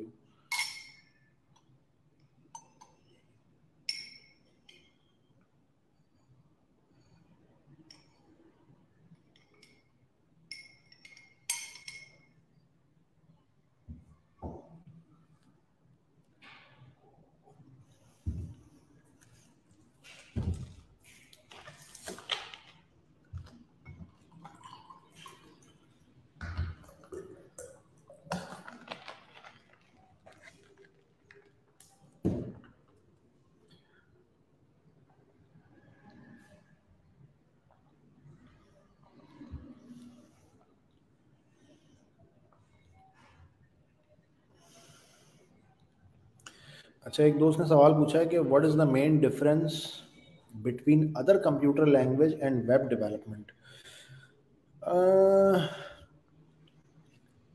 आप मेरा ख्याल है कि शायद ये सवाल पूछना चाह रहे हैं कि एच में और प्रोग्रामिंग लैंग्वेजेस में क्या डिफरेंस है? वेल well, अभी आप एचटीएमएल पढ़ें अब एच में और में दूसरी प्रोग्रामिंग लैंग्वेजेस में ना मैं आपको कोशिश करता हूँ बताने की। एचटीएमएल में ना मार्कअप्स लगते हैं। आप मार्कअप्स लगा सकते हैं। किसी भी टेक्स्ट को बड़ा छोटा कर सकते हैं ठीक है बोल्ड कर सकते हैं। अब वो कितने तरह के मार्कअप्स हैं वो हम आहिस्ता आहिस्ता भी एक्सप्लोर करेंगे। ऑन अदर हैंड जो प्रोग्रामिंग लैंग्वेजेस होती हैं या कंप्यूटर लैंग्वेजेस होती हैं उसमें लॉजिक्स डिफाइन करते हैं कि कैसा हो तो क्या करना है ठीक है? ये वाली जो लॉजिक्स हैं ये हम डिफाइन करते हैं। आ, आ, अब मिसाल के तौर पर जैसे कमेंट है ये। ठीक है? वेब डेवलपमेंट में भी प्रोग्रामिंग लैंग्वेज इस्तेमाल होगी, जो कि जावा स्क्रिप्ट है। अभी तक अभी हमने पढ़ी नहीं है, अभी एच टी पढ़ रहे हैं, लेकिन जावा स्क्रिप्ट इसमें भी इस्तेमाल होगी। प्रोग्रामिंग लैंग्वेज के बगैर तो वेबसाइट भी कंप्लीट नहीं बन सकती वेब एप्स नहीं बन सकती बगैर प्रोग्रामिंग लैंग्वेज के। वेल अगर इमेजिन करें कि मैं कमेंट बॉक्स में कुछ लिखूं, और लिख के मैं एंटर प्रेस करता हूँ तो उस एंटर प्रेस होने पे क्या होना चाहिए? ये काम प्रोग्रामिंग लैंग्वेज का, ये काम एचटीएमएल के ज़रिए अब नहीं सुन हो सकता। ठीक है? यहाँ पे प्रोग्रामिंग लैंग्वेज इन्वॉल्व होती है कि अच्छा यार, उस टैक्स को उठाना है वहाँ से। उस टैक्स को उठा के सर्वर पे या डेटाबेस में जाके सेव करवाना है, ठीक है? बाकी जो लोग सारे कनेक्टेड हैं, उनको डिस्प्ले करवाना है वो कमेंट सही है? ये सारी चीज़ें फिर प्रोग्रामिंग लैंग्वेजेस के के अंडर में आ रही होती हैं। अच्छा। एक दोस्त कह रहे हैं कि एट्रीब्यूट्स को डिफाइन करना है जी, बिल्कुल मैं एट्रीब्यूट्स को डिफाइन कर देता हूँ। एट्रीब्यूट्स क्या होते हैं कि कोई भी एलिमेंट जो है, उसको हम कुछ एक्स्ट्रा इन्फॉर्मेशन देते हैं। ठीक है? एट्रीब्यूट के बारे में बुक में इन्होंने क्या बताया वो हम पढ़ लेते हैं। Attribute provide additional information about the content of an element ठीक है? अच्छा एलिमेंट क्या होता है? ओपनिंग और क्लोजिंग को पूरे को मिला के जो पूरा होता है, इसको हम एलिमेंट कहते हैं। ठीक है? तो हमने मिसाल के तौर पर इसमें एडिशनल इन्फॉर्मेशन क्या दी है? लैंग्वेज कि भाई ये पैराग्राफ किस लैंग्वेज में है? और हमने कहा है कि E N U S English United States ये एक लैंग्वेज हमने बता दी इसको। अच्छा अब क्या हो सकता है कि लैंग्वेज के अलावा हम क्या क्या दे सकते हैं? वो अभी हमें नहीं पता। अब हम एक्सप्लोर करेंगे कि कितने तरह के एट्रीब्यूट्स हो सकते हैं। एच के अंदर, ठीक है? वो अभी हमें हमें नहीं पता, हमने अभी सिर्फ़ एक एट्रीब्यूट देखा है, जो कि लैंग्वेज के नाम से और उसके आगे हम क्या लिखते हैं? ई एन यू एस या फ्रेंच के लिए हम एफ़ आर लिख देते हैं। लैंग्वेज कोड है असल में ये, ठीक है ना? आप गूगल पे लिखेंगे कि लैंग्वेज कोड तो दुनिया की जितनी लैंग्वेज है, सबका लैंग्वेज कोड आ जाएगा, ठीक है? अब आपका उर्दू जो है, उसका यू आर है, ठीक है? और इसी तरह जितनी भी लैंग्वेजेस हैं, जैसे हिंदी का जो है, वो एच आई है तो हर लैंग्वेज का एक लैंग्वेज कोड होता है। तो वो कोड आप यहाँ पे पास कर देते हैं, उससे पता चल जाता है जो पैराग्राफ है ये इस खास लैंग्वेज के अंदर है अच्छा क्योंकि अब ये स्ट्रक्चर डिस्कस हो रहा है इस चैप्टर में तो ये स्ट्रक्चर जो है ना, एक टिपिकल स्ट्रक्चर वेबसाइट का, वो क्या होता है, उसमें एचटीएमएल लिखा हुआ होगा एक एचटीएमएल का एलिमेंट होगा, उसके अंदर हेड का एलिमेंट होगा, उसके अंदर फिर बॉडी का एलिमेंट होगा, ठीक है? तो मैं क्या करता हूँ, वापस अपने कोड में जाता हूँ और ज़रा इस तरह से लिख कर देखता हूँ इसको। मैंने क्या किया, इसको जूम आउट किया और जूम आउट करने के बाद मैं पहली लाइन में गया और बल्कि इन सबको मैं कर लेता हूँ कट यहाँ से। और पहली लाइन में जाने के बाद मैंने कहा एक्सक्लेमिनेशन मार्क ठीक है? ये आपका जो वन कीबोर्ड में जो वन का बटन है, उसको आप शिफ्ट पकड़ के वन दबाएँगे तो ये एक्सक्लेमिनेशन मार्क आ जाता है। अच्छा और ये आने के बाद मैंने क्या किया, मैंने टैब का बटन प्रेस किया। तो ये क्या हुआ, जो बेसिक एचटीएमएल थी ना, वो लिखी हुई आ गई मेरे ठीक है? अच्छा ये शॉर्टकट मुझे कौन प्रोवाइड कर रहा है? विजुअल स्टूडियो कोड जो टेक्स्ट एडिटर में इस्तेमाल कर रहा हूँ, इसने मुझे ये प्रोवाइड किया है, ये शॉर्टकट ठीक है? इसके ज़रिए मैंने ये बेसिक एचटीएमएल पूरी यहाँ पे क्या कर ली? पूरी लिख ली। अब बॉडी के अंदर मैं आता हूँ और इसको आके पेस्ट कर देता हूँ। यहाँ पे क्या चीज़ भला? यहाँ पे मैं क्या पेस्ट कर देता हूँ? जो मैंने पहले मेरा कोड लिखा हुआ था वो। अच्छा और मैंने राइट क्लिक किया। राइट क्लिक करके मैंने फॉर्मेट डॉक्यूमेंट का बटन दबा दिया। फॉर्मेट डॉक्यूमेंट करने से क्या हुआ? थोड़ा सा मेरा डॉक्यूमेंट इंडेंटेशन जो थी, वो थोड़ी सी बेहतर हो गई मेरी। ठीक है? जो एलिमेंट बाहर था, ये देखें, ये बॉडी यहाँ से शुरू है, यहाँ पे खत्म है। तो बॉडी के अंदर जो चीज़ है एच वन ये थोड़ी सी क्या हो गई है, यहाँ पे स्पेस आ गया इसकी। ठीक है? इसी तरीके से जो हेड है हेड यहाँ से शुरू है, यहाँ पे खत्म है। अब हेड के अंदर मेटा का एक एलिमेंट लगा हुआ है। मेटा का एलिमेंट क्या करता है, वो हमें नहीं पता। हम एक्सप्लोर करेंगे आहिस्ता आहिस्ता कि कौन कौन से एलिमेंट है और वो क्या करते हैं। ठीक है जी? तो यहाँ पे थोड़ा सा क्या आ गया? स्पेस आ गया। अच्छा इसी तरीके से हेड के अंदर एक टाइटल के नाम का एलिमेंट लगा हुआ है। अब टाइटल के नाम का एलिमेंट जो है वो क्या करता है? मैंने कहा माई बायो वेबसाइट ठीक है टाइटल के नाम का एलिमेंट क्या करता है? वो हम जरा जाके देखते हैं गूगल क्रोम में। मैंने रिफ्रेश किया जैसे ही तो आप नोट करें, इस जगह पे माई बायो वेबसाइट लिखा हुआ गया। ठीक है तो टाइटल के अंदर जो भी आप बात लिखते हैं वो यहाँ टैब के अंदर आपको जैसे स्ट्रीम यार्ड देखिए मेरे पास खुला हुआ है तो उसमें क्या लिखा हुआ है? स्ट्रीम यार्ड लिखा हुआ है। ठीक है अगर मैं कुछ नहीं लिखूँगा तो वो आ, आ, क्या लिखा हुआ था? कुछ नहीं।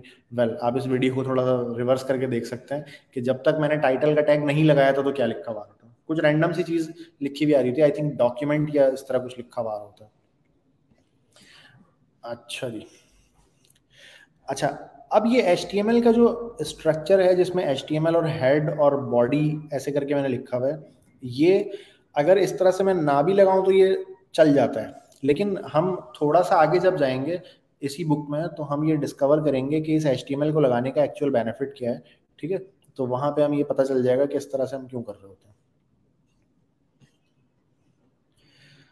अच्छा यहाँ पे इन्होंने डिस्प्ले बताया हुआ है कि भाई जो ऊपर कोड है वो डिस्प्ले कैसा होगा ठीक है? हमारे पास भी बिल्कुल इसी तरह डिस्प्ले हुआ है। अच्छा अब यहाँ पे ना इस पॉइंट पे creating a web page on a PC जो हमने आ, आ, अभी कोड लिखकर और एक वेब पेज बनाकर उसको चलाया था ये वो चीज़ इस बुक में यहाँ पे बता रहे हैं। तो विंडोज़ के अंदर आप क्या करेंगे? आप स्टार्ट का बटन दबाएँगे फिर आप एसेसरीज में जाएँगे फिर आप नोट पैड ओपन करेंगे ठीक है? इन्होंने नोट पैड जो टेक्स्ट एडिटर है, उस पर करके दिखाया हुआ है। अब नोट पैड ओपन करने के बाद ये देखें, इसको कोड इन्होंने ना नोट पैड पे लिखकर बताया हुआ है। ये कोड लिखकर नोट पैड पे, फिर उसको सेव करना बताया इन्होंने। ठीक है जी? ये सेव करना बता रहे हैं। तो इन्होंने क्या नाम रखा है? First test dot H T M L ऐसे करके इन्होंने नाम रखा है और इसको सेव कर दिया। सेव करने के बाद उस फ़ाइल पर डबल क्लिक करके उसको ओपन किया। तो ये देखें आप मोजिला फायरफॉक्स ब्राउज़र के ऊपर ये ओपन होके नज़र आ गया। ठीक है? हमने नोट पैड इस्तेमाल नहीं किया। हमने विजुअल स्टूडियो कोड या उसको शॉर्ट में वी एस कोड भी कहते हैं उसका इस्तेमाल किया हमने। तो आ, हम नोट पैड की बजाय हम उस पर कोडिंग कर रहे हैं। ठीक है? और सेव करने के बाद हमने भी इसी तरह खोल के देखा था तो वो डॉक्यूमेंट खुल गया था हमारे पास। अच्छा creating a web page on Mac अब यही सेम चीज़ मैक में कैसे करेंगे वो भी ये बता रहे हैं। अच्छा मैक में क्या होता है? नोट पैड की जगह एक चीज़ होती है जिसका नाम होता है टेक्स एडिट तो टेक्स एडिट पे इन्होंने करके दिखाया है ठीक है? बिल्कुल नोट पैड की तरह की चीज़ होती है, नाम अलग है सिर्फ़ टेक्स एडिट उस पर इन्होंने खोल के वही कोड लिखा और कोड लिखने के बाद उसको सेव किया, ठीक है? और सेव करने के बाद उसको ब्राउज़र में डबल क्लिक करके ओपन करके दिखा दिया। ये चीज़ मैं आपको करके दिखा चुका हूँ कुछ देर पहले हेलो वर्ल्ड बनाते हुए। ठीक है? तो मेरा ख्याल है कि इसको दोबारा रिपीट करने की हमें ज़रूरत नहीं है। ठीक है?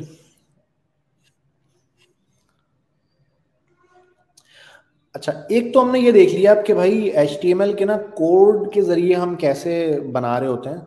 आ, अब एक चीज़ और होती है जिसको हम कहते हैं कंटेंट मैनेजमेंट सिस्टम यानी कि सीएमएस ठीक है? सीएमएस भी इसको शॉर्ट में कहते हैं कंटेंट मैनेजमेंट सिस्टम अब कंटेंट मैनेजमेंट सिस्टम जो होता है उसका कुछ इस तरह का इंटरफेस होता है। जिसमें क्या होता है कि आप हाथ से लिख रहे होते हैं और आ, उसके बाद आप क्या करते हैं सेलेक्ट करके बोल्ड का बटन दबा देते हैं तो वो बोल्ड हो जाता है। पिक्चर को उठा के प्लेस करते हैं तो वो पिक्चर प्लेस हो जाती है। तो इसके जो है बहुत सारे फ़ायदे भी हैं और बहुत सारे इसके नुकसान भी हैं। ठीक है? अच्छा यहाँ पे इन्होंने ये पूरा इसका फ़ायदा और नुकसान डिस्कस किया हुआ है। अब एक दो हम डिस्कस कर लेते हैं यहाँ पे। एक दो हम बात यहाँ पे डिस्कस कर लेते हैं कि क्या फ़ायदे, क्या नुकसान है। नंबर एक फ़ायदा इसमें यह सी एम एस से बनाने में कि वेबसाइट जल्दी तैयार हो जाती है। ठीक है, नंबर एक फ़ायदा ये है। अच्छा लेकिन जल्दी तैयार होने का जो आपका डाउन साइड है, वो ये है कि जिस सी एम एस पे आप उसको बनाते हैं, आपको अगर बाद में उस वेबसाइट को मॉडिफाई करना है, अगर एडिट करना है, उसमें कुछ चेंजेस करनी है तो आपके लिए ये ज़रूरी होता है कि आप उसी सी एम एस को दोबारा इस्तेमाल करें। वो कोड जो जनरेट होता है सी एम एस के ज़रिए, होता तो एच ही जनरेट है बैकग्राउंड में तो वो HTML ऐसा नहीं होता है कि ह्यूमनली उसको एडिट किया जा सके चेंज किया जा सके, या उसमें उसको ह्यूमनली समझने के काबिल वो नहीं होता कोड ठीक है? तो आपको CMS का सॉफ्टवेयर ही इस्तेमाल करना होता है फिर उसको दोबारा चेंज करने के लिए। अच्छा इस दौर में जो वेल नोन सी मौजूद हैं, उसमें विक्स डॉट कॉम बहुत फ़ेमस है, ठीक है? ब्लॉग स्पॉट है एक हमारे पास एक एक स्टिंगर ऐसे करके एक है, वो भी बड़ा फ़ेमस है। किसी को अगर वो नाम पता तो वो लिख दे। स्ट्रिंगर ऐसे करके नाम है कुछ। तो वेल ये बड़े फ़ेमस जो है ना सी एम एस है। तो ये हमने एक प्रोज और एक कौन उसका डिस्कस किया। अच्छा।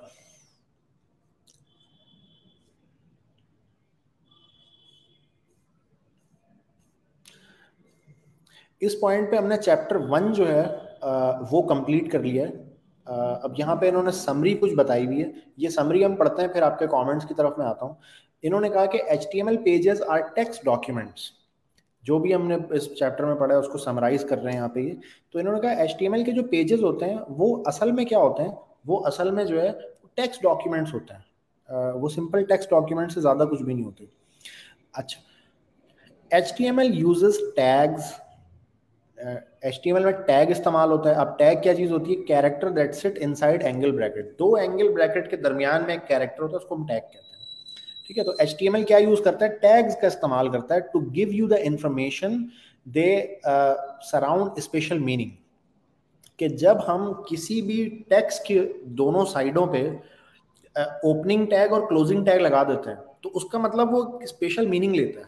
उस टैक्स को वो ट्रांसफॉर्म कर देता है। जैसा कि हमने एच वन लगा के देखा तो एच वन का ओपनिंग टैग और क्लोजिंग टैग हम किसी टेक्स्ट के इस तरफ़ उस तरफ़ लगा देते हैं तो वो टेक्स्ट हेडिंग बन के नज़र आ जाता है आपको। Tags are often referred to elements जो आपके टैग्स होते हैं, यानी जहाँ पे देखें टैग में एस लगाया हुआ है इन्होंने। एस का मतलब है कि ओपनिंग और क्लोजिंग दोनों दोनों को मिला के क्या बोला जाता है, इसको एलिमेंट्स भी बोला जाता है। ठीक है? बल्कि एलिमेंट्स ही बोला जाता है actually tag usually come in pairs. जो टैग्स होते हैं, जैसे एच वन को हमने देखा, पैराग्राफ का जो टैग हमने देखा जैसे हमने इटैलिक और बोल्ड का टैग देखा, वो पेयर में आते हैं। एक ओपनिंग होता है, एक क्लोजिंग होता है। अकेला नहीं होता वो, ठीक है? तो एक ओपनिंग जो स्टार्ट बता रहा होता है कि ये एलिमेंट स्टार्ट कहाँ से हुआ है, और एक क्लोजिंग होता है, जो बता रहा होता है कि ये एलिमेंट खत्म कहाँ पे हो रहा है। Opening tag can carry attributes which tell us more about content of that element जो एट्रीब्यूट्स हम लगाते हैं, वो हम ओपनिंग टैग के ऊपर लगा रहे होते हैं, ठीक है? हम क्लोजिंग टैग पे एट्रीब्यूट नहीं लगा सकते, हम ओपनिंग टैग पे ही एट्रीब्यूट लगा रहे होते हैं, जो क्या बताता है? उसके बारे में कुछ एक्स्ट्रा इन्फॉर्मेशन बताता है। Attribute required name and value अब जब भी हम एट्रीब्यूट पास करते हैं तो हमें एक नेम और एक उसके अगेंस्ट वैल्यू देनी पड़ती है, ठीक है? ये एट्रीब्यूट देने का एक खास तरीका है जो एच में हमें बताया गया। तो हमें हमेशा एट्रीब्यूट इसी तरह से देना होता है कि एक नेम और एक वैल्यू हमें देनी पड़ती है। To learn HTML, you need to know what tags are available for you to use, what they do, and where they can गो आपको मुकम्मल एच टी एम एल सीखने के लिए आपको क्या करना पड़ेगा? आपको ये देखना पड़ेगा कि कितने सारे tags H T M L में अवेलेबल हैं आपके लिए जिसको आप इस्तेमाल कर सकते हैं। फिर व्हाट दे कैन डू कि वो टैग्स करते क्या हैं? उनका बिहेवियर क्या होता है? अगर मैं एच वन लगाता हूँ तो क्या होता है? टेक्स्ट को बड़ा करके दिखा देता है, ठीक है? अगर मैं बी का टैग लगाता हूँ, वो बोल्ड करके दिखा देता है, ठीक है? And where they can go और कहाँ तक उसकी लिमिट जा सकती है? तो ये अगर आपको बातें पता चल जाएँ तो आप बकौल इनके बुक राइटर के, ये कह रहे हैं कि अगर ये बातें पता चल जाए तो पूरी एच आप फिर इसका मतलब है सीख चुके होंगे। अच्छा जी तो अब ज़रा सा जो है ना आपके कमेंट्स को भी मैं देख लेता हूँ। सिंपलेस्ट एच टी स्ट्रक्चर की क्या रिक्वायरमेंट है सर सिंपलेस्ट तो सबसे वही है जो मैंने हेलो वर्ल्ड में बना दिया था ठीक है? uh, वही सबसे सिंपलेस्ट था। एंड में गूगल मीट का ब्रीफ इंट्रो दे दें। सर कोर्स की कंप्लीट आउटलाइन विद प्रोजेक्ट बता दें। अच्छा कोर्स की जो कंप्लीट आउटलाइन है मैं इस लाइव सेशन के ख़त्म होने के बाद इसके कमेंट में पेस्ट कर दूँगा तो वहाँ से आप देख सकते हैं ठीक है? और आप इसी फेसबुक के पेज पे अगर स्क्रॉल करेंगे तो नीचे आपको वो पोस्ट नज़र आ जाएगी, जिसमें सारी डिटेल्स मौजूद है। कोर्स आउटलाइन का एक डॉक्यूमेंट है। उसमें ईच एंड एवरीथिंग जो हम इस कोर्स में कवर करने लगे हैं, वो उसके अंदर बताया गया अच्छा गूगल मीट का जो ब्रीफ इंट्रोडक्शन है, वो ये है कि भाई आपका ईमेल मेरे पास मौजूद है। जो लोग इस कोर्स में इनरोल कर चुके हैं फ़ीस पे कर चुके हैं और वो फॉर्म एडमिशन का फिल कर चुके हैं, उन सब की ईमेल मेरे पास मौजूद है। तो मैं वो सारी ईमेल गूगल मीट में फ़ीड कर दूँगा। आपको कुछ बहुत सिंपल सा काम करना है। आपको काम ये करना है कि जो आपका व्हाट्सएप का ग्रुप है, जो जो पेड ग्रुप है क्लास से पंद्रह मिनट पहले आपको उसमें एक लिंक दे दूँगा मैं, ठीक है? आपको जस्ट ये करना है कि क्लास की टाइमिंग जैसे ही स्टार्ट हो अपने लिंक को क्लिक कर देना है। लिंक को आप क्लिक करेंगे ना तो वो लिंक गूगल क्रोम पे ओपन हो जाएगा और उसमें मेरी शक्ल आपको ऐसे नज़र आ रही होगी, ठीक है? और बस वहाँ पे आपकी क्लास होगी। मैं इसी तरह जैसे स्क्रीन यहाँ पे शेयर कर रहा हूँ, वहाँ पे स्क्रीन शेयर करके आपको दिखा रहा हूँ अपनी स्क्रीन आप उसमें लेकिन यहाँ से थोड़ा मुख्तलिफ़ ऐसे है कि उसमें आप अपना माइक अनम्यूट करके बोल भी सकते हैं, ठीक है? आप अपना कैमरा ओपन करके आप, जैसे मेरा फेस आ रहा है, इसी तरह आपका भी फेस आ रहा होगा और सब लोग आपका भी फेस देख रहे होंगे, जैसे मेरा फेस देख रहे हैं, ठीक है? फेसबुक में अनफॉर्चुनेटली ये वाला फीचर अभी तक नहीं है कि जो है ना, आप इतने सारे, असल में फीचर तो है, लेकिन फिर मुझे लिमिट्स हैं उसके अंदर कि छः सात या आठ लोग से ज़्यादा मुझे अलाउ नहीं करेगा वो तो इसलिए मैंने कहा फिर मुनासिब ही है कि किसी को भी ना लिया जाए। वेल कमेंट्स में आप मुझसे पिस्टल बात कर सकते हैं। Please explain C M S दोस्त, ये जो सी एम एस होता है ना कंटेंट मैनेजमेंट सिस्टम्स होते हैं, इसमें क्या होता है कि आपके पास एक ऐसा इंटरफेस होता है जिसमें आप ड्रैग एंड ड्रॉप के ज़रिए पूरी वेबसाइट तैयार कर सकते हैं, ठीक है? अच्छा सबसे जो फ़ेमस है वो विक्स है और एक स्ट्रिंगर करके कुछ है वर्ड प्रेस एक है, वो भी सी एम एस सिस्टम है। ब्लॉग स्पॉट के नाम से एक वेबसाइट बीच में बड़ी मशहूर थी, वो भी एक सीएमएस सिस्टम है। तो इन सीएमएस सिस्टम्स में होता क्या है कि आपके पास माइक्रोसॉफ्ट पेंट की तरह का एक इंटरफेस होता है, या आपके पास आप कह लें कि माइक्रोसॉफ्ट वर्ड की तरह का एक इंटरफेस होता है कि आप टेक्स्ट लिखते हैं और सेलेक्ट करके आप बोल्ड का बटन दबा देते हैं तो वो बोल्ड हो जाता है। ठीक है उसके बहुत सारे प्रोज एंड कॉन्स हैं। बुक में एक जगह और भी ये बात डिस्कस हुई हुई है उसके प्रोज एंड कॉन्स बाकायदा डिस्कस हुए हैं। तो हम वो जब वहाँ पे पहुँचेंगे तो हम वो बात डिस्कस करेंगे। वेल well, जो प्रोफेशनल डेवलपमेंट होती है वो एच uh, के कोड के ज़रिए ही होती है ठीक है? सी के दूसरे पर्पसेज हैं। सीएमएस में क्या होता है कि वेबसाइट uh, बहुत जल्दी तैयार हो जाती है ठीक है? जो जो स्मॉल बिजनेसेस हैं बिल्कुल जो अफोर्ड नहीं कर सकते एक सॉफ्टवेयर डेवलपर को हायर करना तो वो फिर क्या करते हैं सी एम एस सिस्टम पे अपनी वेबसाइट को बना रहे होते हैं और उसके ऊपर वो कर रहे होते हैं। तो ये हो गई जनाब सी एम एस की बात। आ, सर आप फ्रीलांसिंग का बताएँगे। अच्छा प्यारे दोस्त फ्रीलांसिंग इस कोर्स में कवर नहीं कर रहा हूँ मैं। क्योंकि फ्रीलांसिंग की बहुत सारी चीज़ें होती हैं ठीक है? कोई एक दो चीज़ तो है नहीं कि मैं आपको बता के फ़ौरन जो है वो जल्दी से वो कर लूँ। हाँ लेकिन एक चीज़ ज़रूर है कि कुछ दिनों में ना मेरा एक वेबिनार होने वाला है एन में। अब, अभी वो ऑनलाइन उसको लाइव स्ट्रीम में करेंगे या नहीं करेंगे, और अगर वो नहीं करेंगे तो मैं कर दूँगा लाइव स्ट्रीम इसी पेज पे, कोई मसला नहीं है। तो वहाँ पे ये फ्रीलांसिंग के बारे में चीज़ें डिस्कस होंगी। वर्कशॉप है वो, इसी तरह होगी, शायद दो घंटे की होगी। तो उसमें कोशिश करूँगा कि फ्रीलांसिंग वाली चीज़ें सारी डिस्कस हो जाएँ। वेल इस कोर्स में ये अभी चीज़ फ़िलहाल हमने इंक्लूड नहीं की है। आ, आ, लेकिन हम कर सकते हैं ये कोर्स ज़रा कंप्लीट हो जाए। फिर कंप्लीट होने के बाद अगर स्टूडेंट्स अगर रिक्वेस्ट करेंगे कि सर हमें ना एक सेशन अभी फ्रीलांसिंग का भी हमें चाहिए। तो हम थोड़ा सा एक्सटेंड कर लेंगे इस कोर्स को और इस तरह की छोटी छोटी चीज़ें हम कर सकते हैं नॉट अ प्रॉब्लम अच्छा मैं अपने बारे में बताऊँ कि मैं फुल टाइम फ्रीलांसर हूँ इस वक्त। आ, क्या कहते हैं? वेब डेवलपमेंट से मैंने अपना करियर स्टार्ट किया था। अभी भी वेब डेवलपमेंट कर रहा होता हूँ मैं। साथ साथ में कुछ और भी चीज़ें कर रहा होता हूँ। थोड़ा बहुत एआई का काम कर रहा होता हूँ। वॉइस एप्लीकेशन चैट बॉट्स ये मेरी एक्सपर्टीज़ हैं फ़िलहाल। तो फ्री लांसिंग ही की है मैंने। जॉब नहीं की कभी भी। अच्छा। सर सीएमएस में कोडिंग नहीं करते, सिर्फ़ कट पेस्ट होता है। प्यारे दोस्त, वो सीएमएस में ना आप जब बटन प्रेस करते हैं कि भाई इस टेक्स्ट को बोल्ड कर दो। तो बैकग्राउंड में वो ना कोड जनरेट कर रहा होता है। मशीन जो है ना आप कोड जनरेट कर रहा होता है। तो अल्टीमेटली होता तो एच ही है वो भी। ठीक है ना? आपको जो देता है ना वो तैयार करके वो एच ही देता है। तो आ, लेकिन वो उसमें होता ही है कि वो जल्दी जल्दी वेबसाइट तैयार हो जाती है लेकिन उसका डाउन साइड ये होता है कि जो एचटीएमएल आपको मिलता है वो ऐसा नहीं होता कि उसको ह्यूमनली एडिट किया जा सके या मॉडिफाई किया जा सके। तो इस वजह से जो है ना प्रोफेशनल डेवलपमेंट में सीएमएस वगैरह को अवॉइड किया जाता है। ख़ास तौर पे वेब एप्लीकेशंस जो हैं, वो सीएमएस के ऊपर नहीं बन, बनाई जाती हैं आमतौर पर उसके लिए फ्रंट एंड के बहुत सारे फ्रेमवर्क्स हैं जो रिएक्ट जैसे है, वो हम इंशाल्लाह पढ़ेंगे। ठीक है, अभी तो एच बेसिक पढ़ लें, फिर इनशाला हम रिएक्ट और सर्वर और डेटाबेस पढ़ेंगे तो उस पॉइंट पे आपको जाके पता चलेगा कि अच्छा यार ये सीएमएस पे चीज़ें बहुत सारी ऐसी हैं जो पॉसिबल भी नहीं है। लिमिट्स हैं बहुत सारी जो सीएमएस के ऊपर ना आप जब बना रहे होते हैं बहुत सारी जगहों पर लिमिट आ जाती है।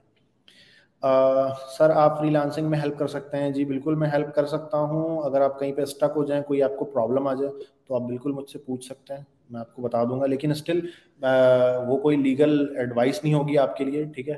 uh, क्योंकि फ्री लांसिंग के बारे में आपको बताऊँ, दुनिया का मुश्किल तरीन जो काम है, वो उनमें से एक है फ्री लांसिंग क्योंकि इसमें सब चीज़ें आप खुद कर रहे होते हैं। सॉफ्टवेयर डेवलपमेंट तो कर ही रहे होते हैं, साथ में फाइनेंशियल डीलिंग मार्केटिंग कस्टमर से बात करना कम्युनिकेशन फिर डॉक्यूमेंटेशन बहुत सारी ऐसी चीज़ें होती हैं जो आप कर रहे होते हैं।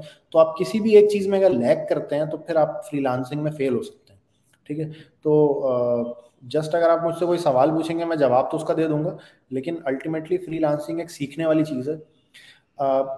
होपफुली मैं uh, कोई एक कोर्स भी छोटा मोटा स्टार्ट करूँ जिसमें स्पेशली फ्रीलांसिंग सिखाऊं कि यार फ्रीलांसिंग के जो प्लेटफॉर्म्स हैं उसमें काम किया कैसे जाता है उसके जो पूरे इंटरफेस है जैसे अभी एक दोस्त ने पूछा है कि लाइक मेरा भी फाइवर का अकाउंट है। अब फाइवर पे अकाउंट बनाना तो बहुत ईजी है आप जाते हैं साइन अप करते हैं फेसबुक की तरह वो अकाउंट बन के तैयार हो जाता है लेकिन उस पर करना क्या है? ठीक है ना वो बंदों से बात करनी कैसे है और उसमें जो जो इतने सारे ऑप्शन है वो क्या है? उससे फेमिलियर होने में ही आपको काफ़ी टाइम लग जाता है। वेल well, तो मेरा मेरे प्लान में है कोई इस तरह का कोर्स भी हम एक अलग से अनाउंस कर सकते हैं कोई आ, तीन चार क्लासेस का एक वर्कशॉप टाइप का कुछ कर सकते हैं। After this course of course project will be make अच्छा इरफान बशीर पूछ रहे हैं कि क्या प्रोजेक्ट्स हम यहाँ पे बनाएँगे? हम इंशाल्लाह यहाँ पे ना एक ऑनलाइन शॉप बनाएँगे एज अ फाइनल प्रोजेक्ट मैं नहीं बनाऊँगा, आप लोग बनाएँगे, ठीक है? वैसे थ्रू आउट द कोर्स छोटे छोटे बहुत सारे टास्क आपको दिए जाएँगे, वो आप कर रहे होंगे। फ्री लांसिंग कोर्स ज़रूर स्टार्ट कीजिएगा। प्यारे दोस्त फ्री लांसिंग का कोर्स तो मैं स्टार्ट कर दूँगा, लेकिन फ्री लांसिंग में आप करेंगे क्या? देखें फ्रीलांसिंग के कोर्स में तो मैं आपको इंटरफेस सिखाऊँगा ना कि यार आप, ये इंटरफेस है फाइवर का, ये इंटरफेस है अपवर्क का, यहाँ पे जाके बिडिंग होती है। बिडिंग में कैसे अल्फाज इस्तेमाल करना है कस्टमर से कैसे बात करनी है टाइम पे डिलीवरी करने के लिए आप क्या क्या मेजर्स आपको लेने होते हैं डॉक्यूमेंटेशन कैसे करनी होती है, ये ये चीज़ें मैं बता सकता हूँ आपको। लेकिन एक्चुअल काम क्या करेंगे आप? आप फ्रीलांसिंग के प्लेटफॉर्म पे जाके क्या बोलेंगे? ठीक है ना? आप ये बोलेंगे कि मैं वेबसाइट बनाता हूँ तो पहले आपको ये सीखना पड़ेगा। कि मैं वेबसाइट बनाना आपको आ जाए पहले, ठीक है? तो सबसे पहले तो आप ये करें कि इस कोर्स में इनरोल हो जाए। अगर आप अभी तक नहीं हुए तो अगर आप हो चुके हैं तो बहुत अच्छी बात है। तो सबसे पहले तो आप इस कोर्स में इनरोल हो जाएँ ताकि आपके पास एक ऐसी स्किल आ जाए जो आप बेच सकें, जो सेल कर सकें आप जाके, ठीक है? अच्छा फ्रीलांस में लोग हेयर ड्रेसिंग भी करते हैं। हाँ ज़रूरी नहीं है कि आप फ्रीलांस वेब डेवलपमेंट ही करें, ठीक है? जो जितनी भी मूवीज़ बनती हैं, उसमें जो हेयर ड्रेसर होते हैं, वो सारे फ्रीलांसर्स होते हैं। ठीक है फ्रीलांसर का मतलब ये होता है, आपको एक प्रोजेक्ट दिया जाएगा, वो करना है आपने। कोई परमानेंट एम्प्लॉयमेंट नहीं है, काम करो, अपने पैसे पकड़ो और बस खत्म आपकी, आपका कॉन्ट्रैक्ट इतना ही। ठीक है तो जितने भी जो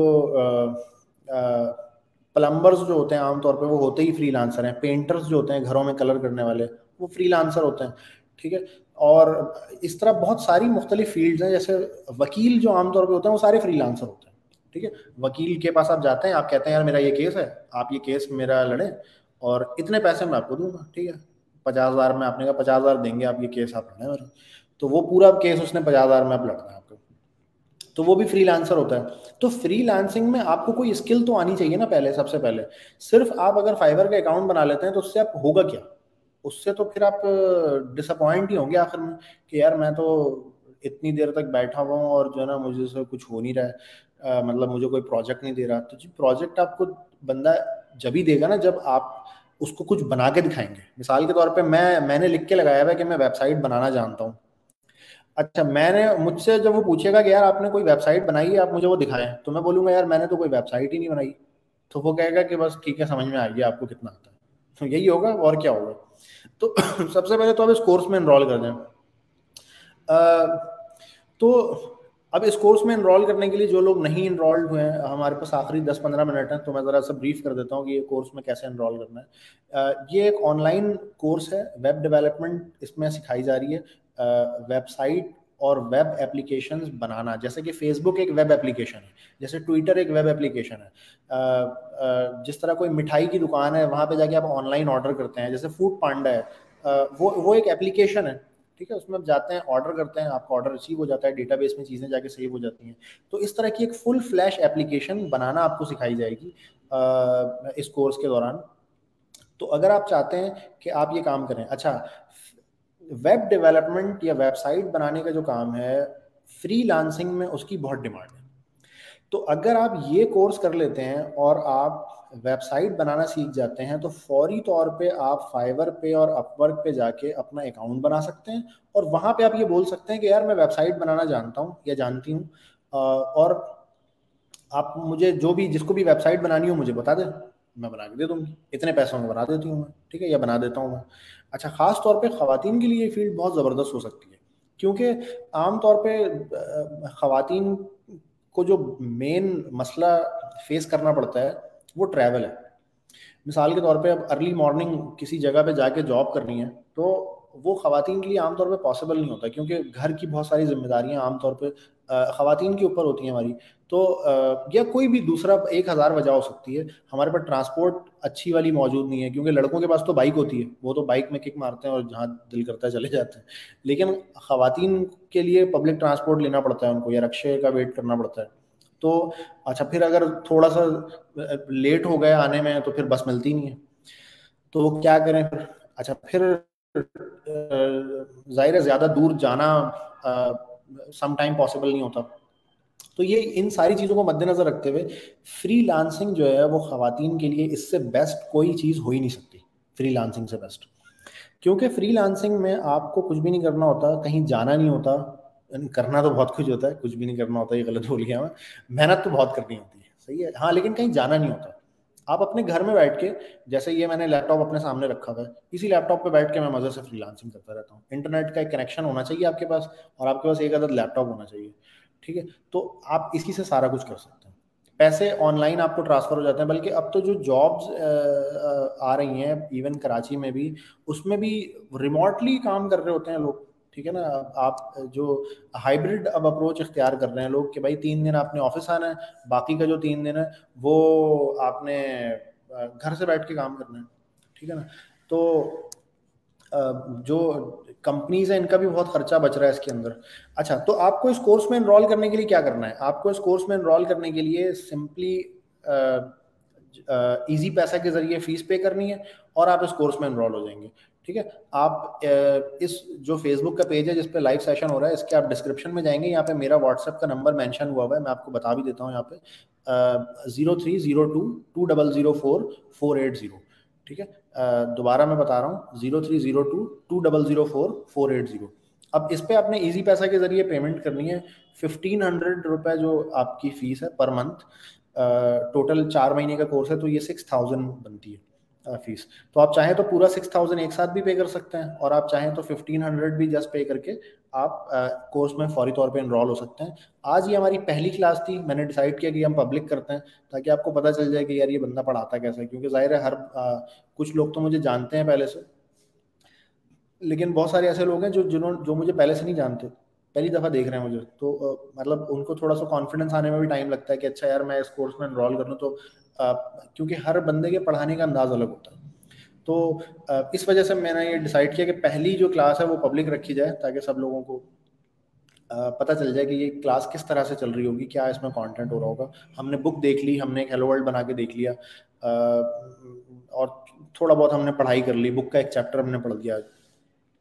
तो वेल थोड़ी, क्योंकि ये पहली क्लास है तो थोड़ा स्लो पेस रखा है। इनशाला हम आगे जाके थोड़ा सा और फास्ट हम पेस भी करने की कोशिश करेंगे।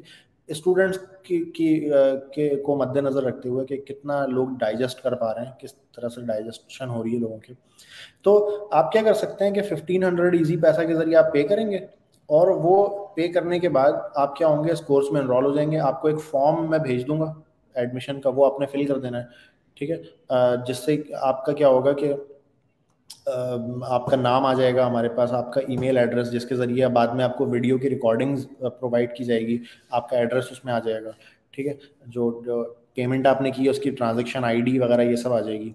अच्छा आप दोस्त पूछ रहे हैं कि अभी इनरोल कर सकते हैं? जी बिल्कुल दोस्त आप अभी इनरोल कर सकते हैं बल्कि जो नेक्स्ट हमारी क्लास होगी उससे पहले पहले आप इसमें इनरोल कर सकते हैं।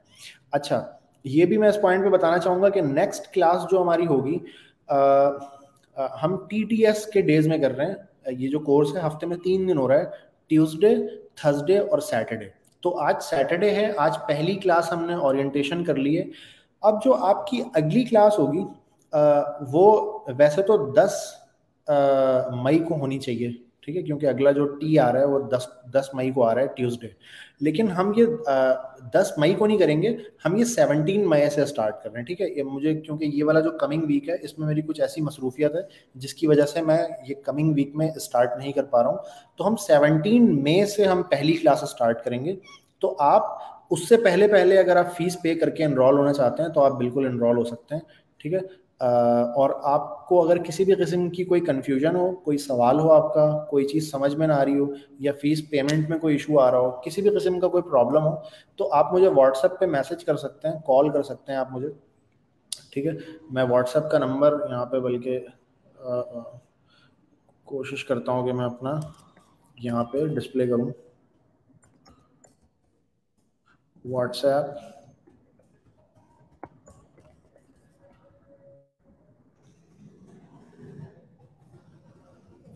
ये व्हाट्सएप का नंबर यहाँ पे डिस्प्ले हो गया है स्क्रीन पे। तो इस नंबर पे आप मुझे मैसेज कर सकते हैं कॉल कर सकते हैं कोई भी आपके पास क्वेश्चन है तो आ, वो आप मुझसे इस नंबर पे कॉल करके या मैसेज करके आप पूछ सकते हैं ठीक है?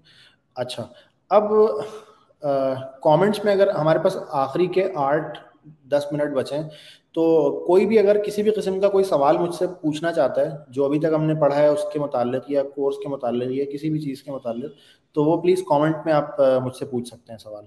अदरवाइज़ फिर मैं आपसे इजाज़त चाहूँगा। अच्छा ये एक दोस्त पूछ रहे हैं कि what is the difference between software and website अच्छा सॉफ्टवेयर इन जनरल हर कंप्यूटर में चलने वाली हर चीज़ सॉफ्टवेयर है इन जनरल ठीक है?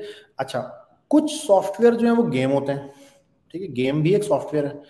कुछ सॉफ्टवेयर जो है वो वीडियो प्लेयर होते हैं। V L C player is also software कुछ सॉफ्टवेयर जो है वो आपके जैसे स्काइप है वीडियो कॉलिंग के सॉफ्टवेयर होते हैं। इसी तरीके से वेबसाइट भी सॉफ्टवेयर की एक किस्म है, ठीक है? तो ये दोनों में डिफरेंस नहीं है। एक्चुअली सॉफ्टवेयर जो है इज़ अ बिगर अम्ब्रेला और वेबसाइट उस अम्ब्रेला के नीचे उसका एक एक एक सब पार्ट सर मैं इनरोल हूँ फ्रेंड को बताऊँगा। जी बिल्कुल फ्रेंड को आप बता दें। और uh, इस, इस क्लास को भी आप शेयर कर सकते हैं अपने दोस्तों के साथ ताकि वो देख कर वो भी अगर इनरोल होना चाहें तो वो हो जाए। क्योंकि जब आप इस तरह की कोई बात आप शेयर करते हैं क्योंकि ये जस्ट एक कोर्स नहीं है। ये कोर्स करने के बाद अगर कोई बंदा पैसे अर्न करता है कोई हलाल पैसे कमाता है तो उसका सवाब आपको भी मिलेगा ठीक है? क्योंकि हलाल पैसे कमाना भी एक इबादत है। तो अगर आप उसको अपने दोस्तों में शेयर करते हैं और आपकी वजह से किसी का बेनिफिट होता है आ, क्या कहते हैं इस सेंस में कि वो एक एक बंदा जो आ, पैसे कमाने के काबिल हो जाता है आपके बताने की वजह से तो उसको ऑफ़ कोर्स आपको जो है सवाब मिलेगा। Sir Atom text editor use कर सकते हैं वेबसाइट डेवलपमेंट के। जी, बिल्कुल आप जो भी आपका फेवरेट टेक्स एडिटर है, वो आप इस्तेमाल कर सकते हैं। अच्छा सर, अगर इंटरेस्ट हो बट समझ नहीं आ रहा हो तो क्या करें? प्यारे दोस्त, अगर आपको कोई भी चीज़ समझ में नहीं आ रही होगी क्लास के दौरान तो आपके पास हमेशा ये ऑप्शन होगा कि आप मुझसे पर्सनली कांटेक्ट भी कर सकते हैं। ठीक है पर्सनली कांटेक्ट करके आप मुझसे पूछ सकते हैं। तो मैं ये करूँगा डायग्नोस करूँगा कि प्रॉब्लम है क्या असल में। क्यों क्योंकि नहीं समझ में आने का कोई ना कोई रीज़न होगा ठीक है? क्योंकि जो बाकी लोग क्लास में हैं क्योंकि मुझे टीचिंग का काफ़ी एक्सपीरियंस हो चुका है इस वक्त। मुझे शायद सॉफ्टवेयर डेवलपमेंट का इतना एक्सपीरियंस नहीं जितना टीचिंग का एक्सपीरियंस है। तो मैं अपने स्कूल के ज़माने से भी बल्कि उससे भी पहले से आ, क्या कहते हैं टीचिंग कर रहा हूँ। तो मुझे टीचिंग का काफ़ी एक्सपीरियंस है तो मैं आपसे बात करूँगा, आपसे मैं सवाल पूछूँगा और मैं डायग्नोस करने की कोशिश करूँगा कि आया कि प्रॉब्लम है कहाँ पे। आपको क्यों नहीं समझ आ रहा? तो उस प्रॉब्लम को डायग्नोस करके फिर हम उसका हल तलाश करने की कोशिश करेंगे, ठीक है? तो कोई मसले की बात नहीं है, क्योंकि बाकी जो लोग क्लास में मौजूद हैं, वो भी तो इंसान है, वो भी आपकी तरह इंसान है और एवरेज लोग हैं। कोई ऐसे बहुत जीनियस लोगों को ढूंढ के नहीं इकट्ठा किया मैंने। तो सारे एवरेज लोग हैं जो आपके इर्द गिर्द रहते हैं। आपकी तरह उनके पास भी दो हाथ और आँख नाक सब चीज़ें मौजूद हैं। तो इनशाला कोई ऐसा मेरा नहीं ख्याल कि कोई ऐसा ऐसा रीज़न है कोई ऐसी बहुत मुश्किल चीज़ है ये कि वो किसी एक कॉमन बंदे को समझ में ना आए ऐसा नहीं है। अच्छा अगर किसी और का कोई सवाल नहीं है तो फिर आपसे मैं इजाज़त चाहूँगा फिर इनशाला आपसे मुलाकात रहेगी अगली क्लास में और आ, किसी भी किस्म का अगर कोई सवाल हो तो मैं इस लाइव सेशन के कमेंट में व्हाट्सएप के ग्रुप का भी लिंक डाल दूँगा। और आप जो ये नंबर आपकी स्क्रीन पे आ रहा है व्हाट्सएप का, आप इस पर जब मैसेज करेंगे ना तो आपको ऑटोमेटिकली क्या होगा, जो व्हाट्सएप का ग्रुप बना हुआ है कम्युनिटी बनी हुई, उसका लिंक आ जाएगा आपके पास, ठीक है? उस ग्रुप के डिस्क्रिप्शन में भी सारी डिटेल्स मौजूद हैं। और उस ग्रुप में आप कोई भी सवाल पूछ सकते हैं तो वहाँ पे ज़ाहिर है, अब फेसबुक पे क्योंकि एक बिगर प्लेटफॉर्म है, जो व्हाट्सएप का ग्रुप है, उसमें पचास, साठ, सौ या इस तरह लोग हैं तो यहाँ पे सेम इंटरेस्ट के लोग ना उस ग्रुप में मौजूद हैं तो वहाँ पे जब आप सवाल करेंगे तो आपको बेटर हेल्प मिलेगी होपफुली ठीक है जी? इनशाला फिर आपसे मुलाकात रहेगी अगली क्लास में। बाय